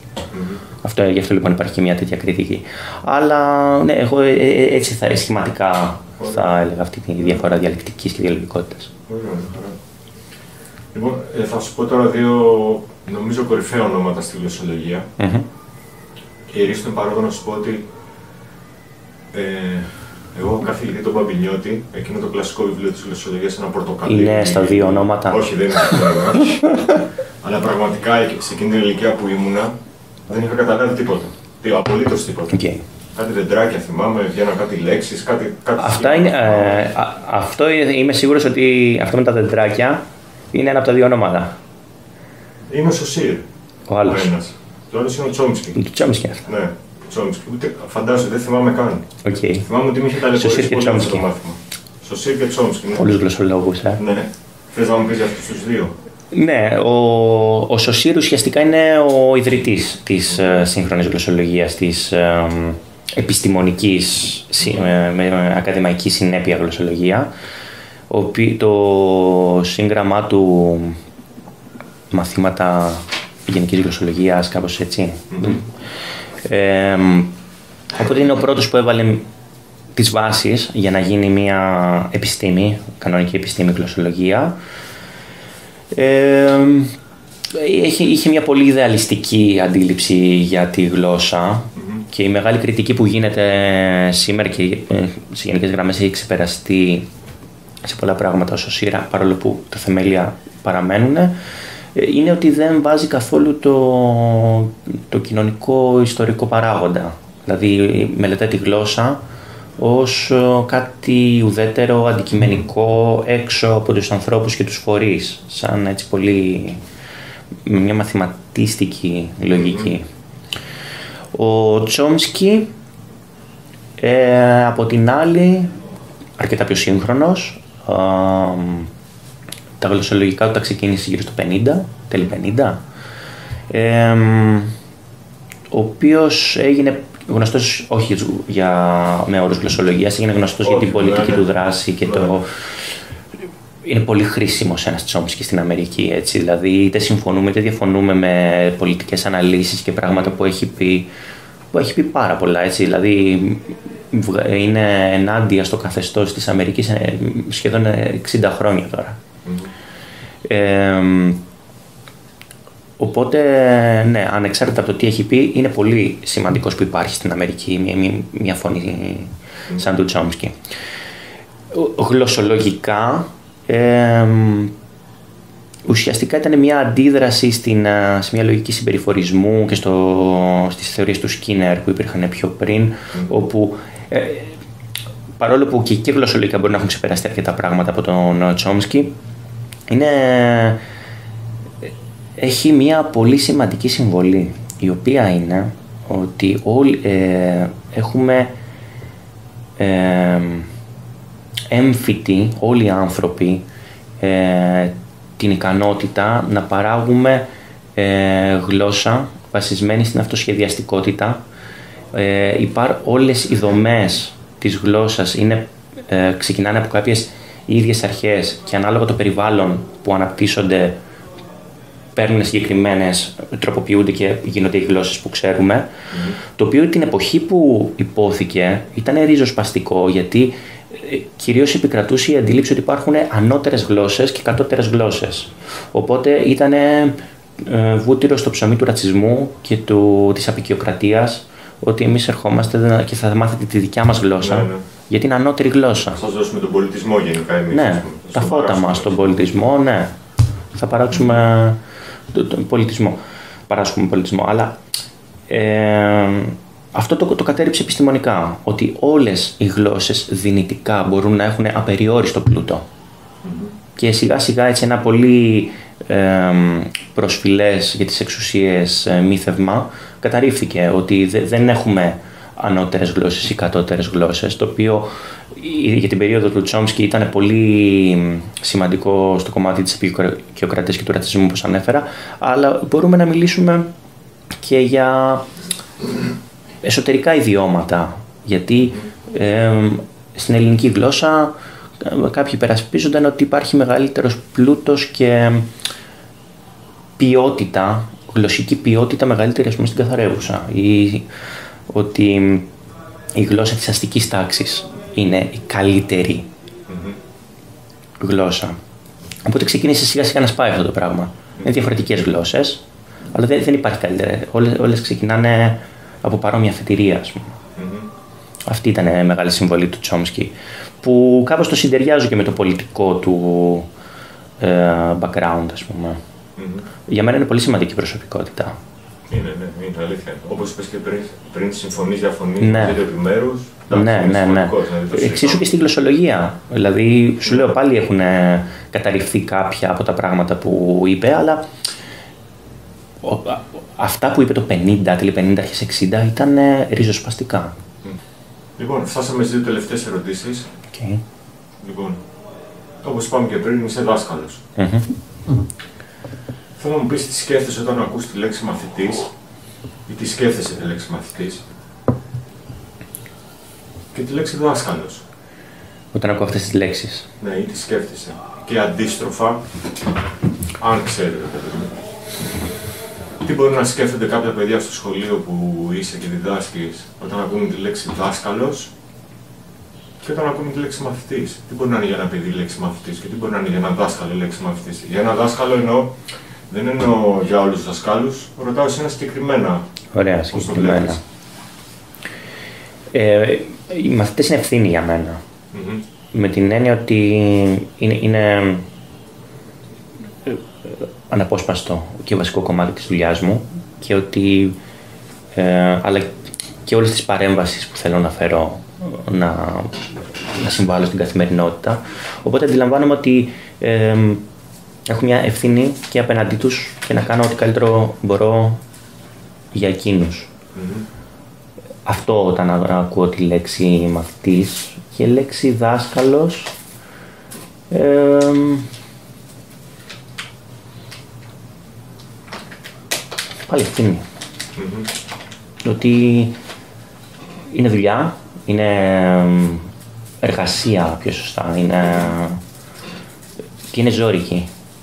Ε, Είναι δύσκολη δουλειά που είναι πάρα πολύ ωραίο και πολύ ταιριαστό με το βιβλίο μας ότι είναι μια από τις πιο ζώρικες δουλειές που υπάρχουν. Ε, εγώ έτσι το αντιλαμβάνομαι. Ε, και επικρατεί η αφήγηση της ανώτερης τάξης που λέει τους δασκαλούς τεμπέληδες, αργόμισθους. Ε, κάθε τόσο δημοσιογράφοι βγαίνουν και λένε τι θέλουν πάλι οι δάσκαλοι. Τι... Ναι. Και είναι, είναι φοβερό, είναι φοβερή αυτή η αντίφαση. Οπότε δηλαδή, ακόμη και για τη λέξη δασκάλου βλέπουμε πόσο διαφορετικές έννοιες μπαίνουν. Εγώ επειδή το ζω, ε, είμαι στο σχολείο καθημερινά, ξέρω ότι είναι δύσκολο και είναι, είναι, και είναι μεγάλη ευθύνη. Σίγουρα. Είναι όμως. Τώρα που το λες, αυτό είναι το ίδιο δύσκολο για όλους. Φαντάζομαι πως όχι. Τι να σου πω τώρα. Δηλαδή, ρε παιδί μου, αν εσύ μπαίνεις σε Πριν μου είπες να πω για μένα. Εγώ για μένα. Σωστά, σωστά. Συμφωνώ απόλυτα. Αλλά πες ότι εγώ είμαι δάσκαλος και μπαίνω μες στην τάξη, λέω ας πούμε αυτό που είναι να πω, φεύγω και δεν είναι. Μμμ. Φαντάζομαι ότι δεν είναι το ίδιο για όλους. Δηλαδή, όπως δεν είναι βέβαια σε, Ναι. σε οποιοδήποτε κομμάτι της ζωής, δεν είναι Ναι, ναι, ναι, δεν ναι. είμαστε όλοι οι ίδιοι. Συμφωνώ. Άρα δεν είναι μόνο οι δημοσιογράφοι οι οποίοι μπαίνουν και παρεμβαίνουν στη λέξη δάσκαλος. Κάποιοι για κάποιους μπορεί να είναι βολεψιά, να είναι... Οπότε, ναι, ε, επανερχόμαστε στην ουσία του βιβλίου. Είναι ότι η γλώσσα, η λέξη μας είναι πεδίο πάλης. Αντιπαράθεσης. Αντιπαράθεσης, ναι. Ναι. Πώς θα νοηματοδοτήσουμε το δάσκαλο; Όπως είπα τη δικιά μου, είναι ευθύνη, είναι δυσκολία, είναι και τιμή. Είναι, είναι ωραίο να το κάνεις αυτό. Για άλλους δεν είναι. Άλλους είναι Ωραία. βαρετό, για άλλους είναι ξεφτίλα. Ναι, οκ. Το αντίστροφο σου έχει τύχει να το ακούσεις ποτέ από ένα μαθητή, ας πούμε, ή να καταλάβεις τι μπορεί να είναι για κάποιους μαθητές ή για κάποιον μαθητή, για κάποια μαθήτρια η λέξη δάσκαλος ή η ιδιότητα που έχει η λέξη μαθητής; Ναι. εμ,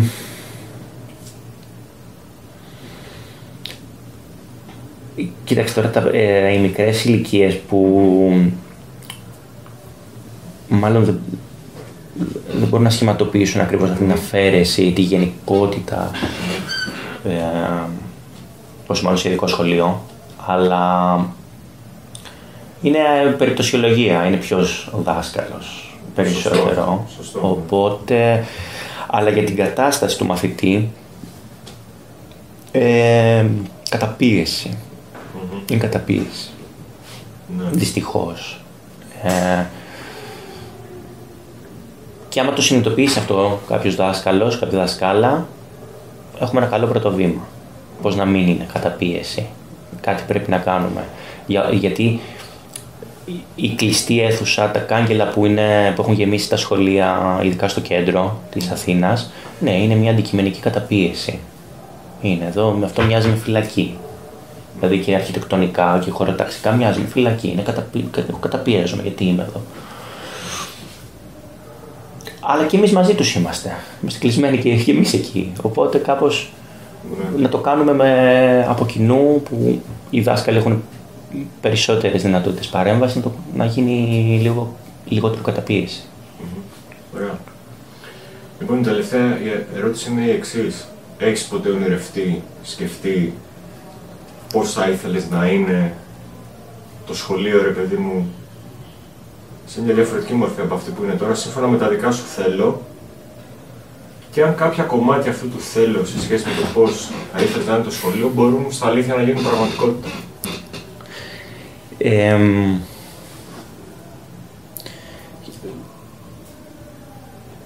δεν μπορεί να υπάρξει ένα διαφορετικό σχολείο χωρίς να υπάρξει μια διαφορετική κοινωνία.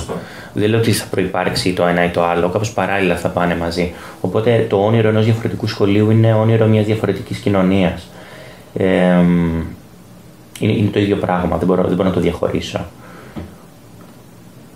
Αλλά αυτό το άλλο σχολείο ε, σίγουρα θα είχε περισσότερη, να, θα αφουγκραζόταν περισσότερο τους μαθητές, το, δηλαδή το ότι αισθάνονται καταπίεση επειδή υπάρχουν ε, ότι είμαστε κλεισμένοι μέσα σε τείχους, άρα θα έχει περισσότερη εκπαίδευση έξω, με περισσότερη φύση. Θα, είχε, θα άκουγε τους μαθητές γιατί ε, δομικά θα περιλάμβανε την ακοή αυτή, δηλαδή θα, θα είχε δυνατότητα για συμβούλια όπου το παιδί θα εκφράζουν ελεύθερα το λόγο τους. Ε, θα είχε περισσότερο με βάση τις δικές τους επιθυμίες, όχι κεντρικό πρόγραμμα, ότι τώρα κάνουμε Θα είχε με επιχειρήματα ή με, με παραδείγματα έμπρακτα ότι αξίζει να μάθουμε τη γλώσσα, ότι αξίζει να μάθουμε τα μαθηματικά και με, με βάση τις δικές του επιθυμίες και ανάγκες. Δηλαδή, ειδικά για το πεδίο της γλώσσας που είναι και το θέμα του βιβλίου, είναι ότι εσύ θες να εκφράσεις κάτι, θες να μου πεις ότι νιώθεις καταπίεση στο σχολείο. Να μάθεις να το λες, ότι υπάρχει λέξη καταπίεση. Να το γράφεις αυτό, να το γράφεις όμορφα, αλλά με δικό σου τρόπο. Αυτό θα ήθελα να έχει περισσότερο το σχολείο. Κατά, κύριο λόγο την, την πραγματική συμπερίληψη των μαθητών, όχι με τη συμπερίληψη μεταξύ τους, αλλά τη συμπερίληψη στην όλη διαδικασία. Να είναι, να είναι μια κοινότητα, ας πούμε, mm-hmm. μεταξύ δασκάλων και ναι. μαθητών και, και γονέων, μάλλον. Ναι, ναι, και γονέων και όλων των ανθρώπων εκεί έξω, σε αυτόν τον άλλο κόσμο. Okay. Αυτό. ευχαριστώ πάρα πολύ. Εγώ ευχαριστώ. Είναι πολύ ωραία.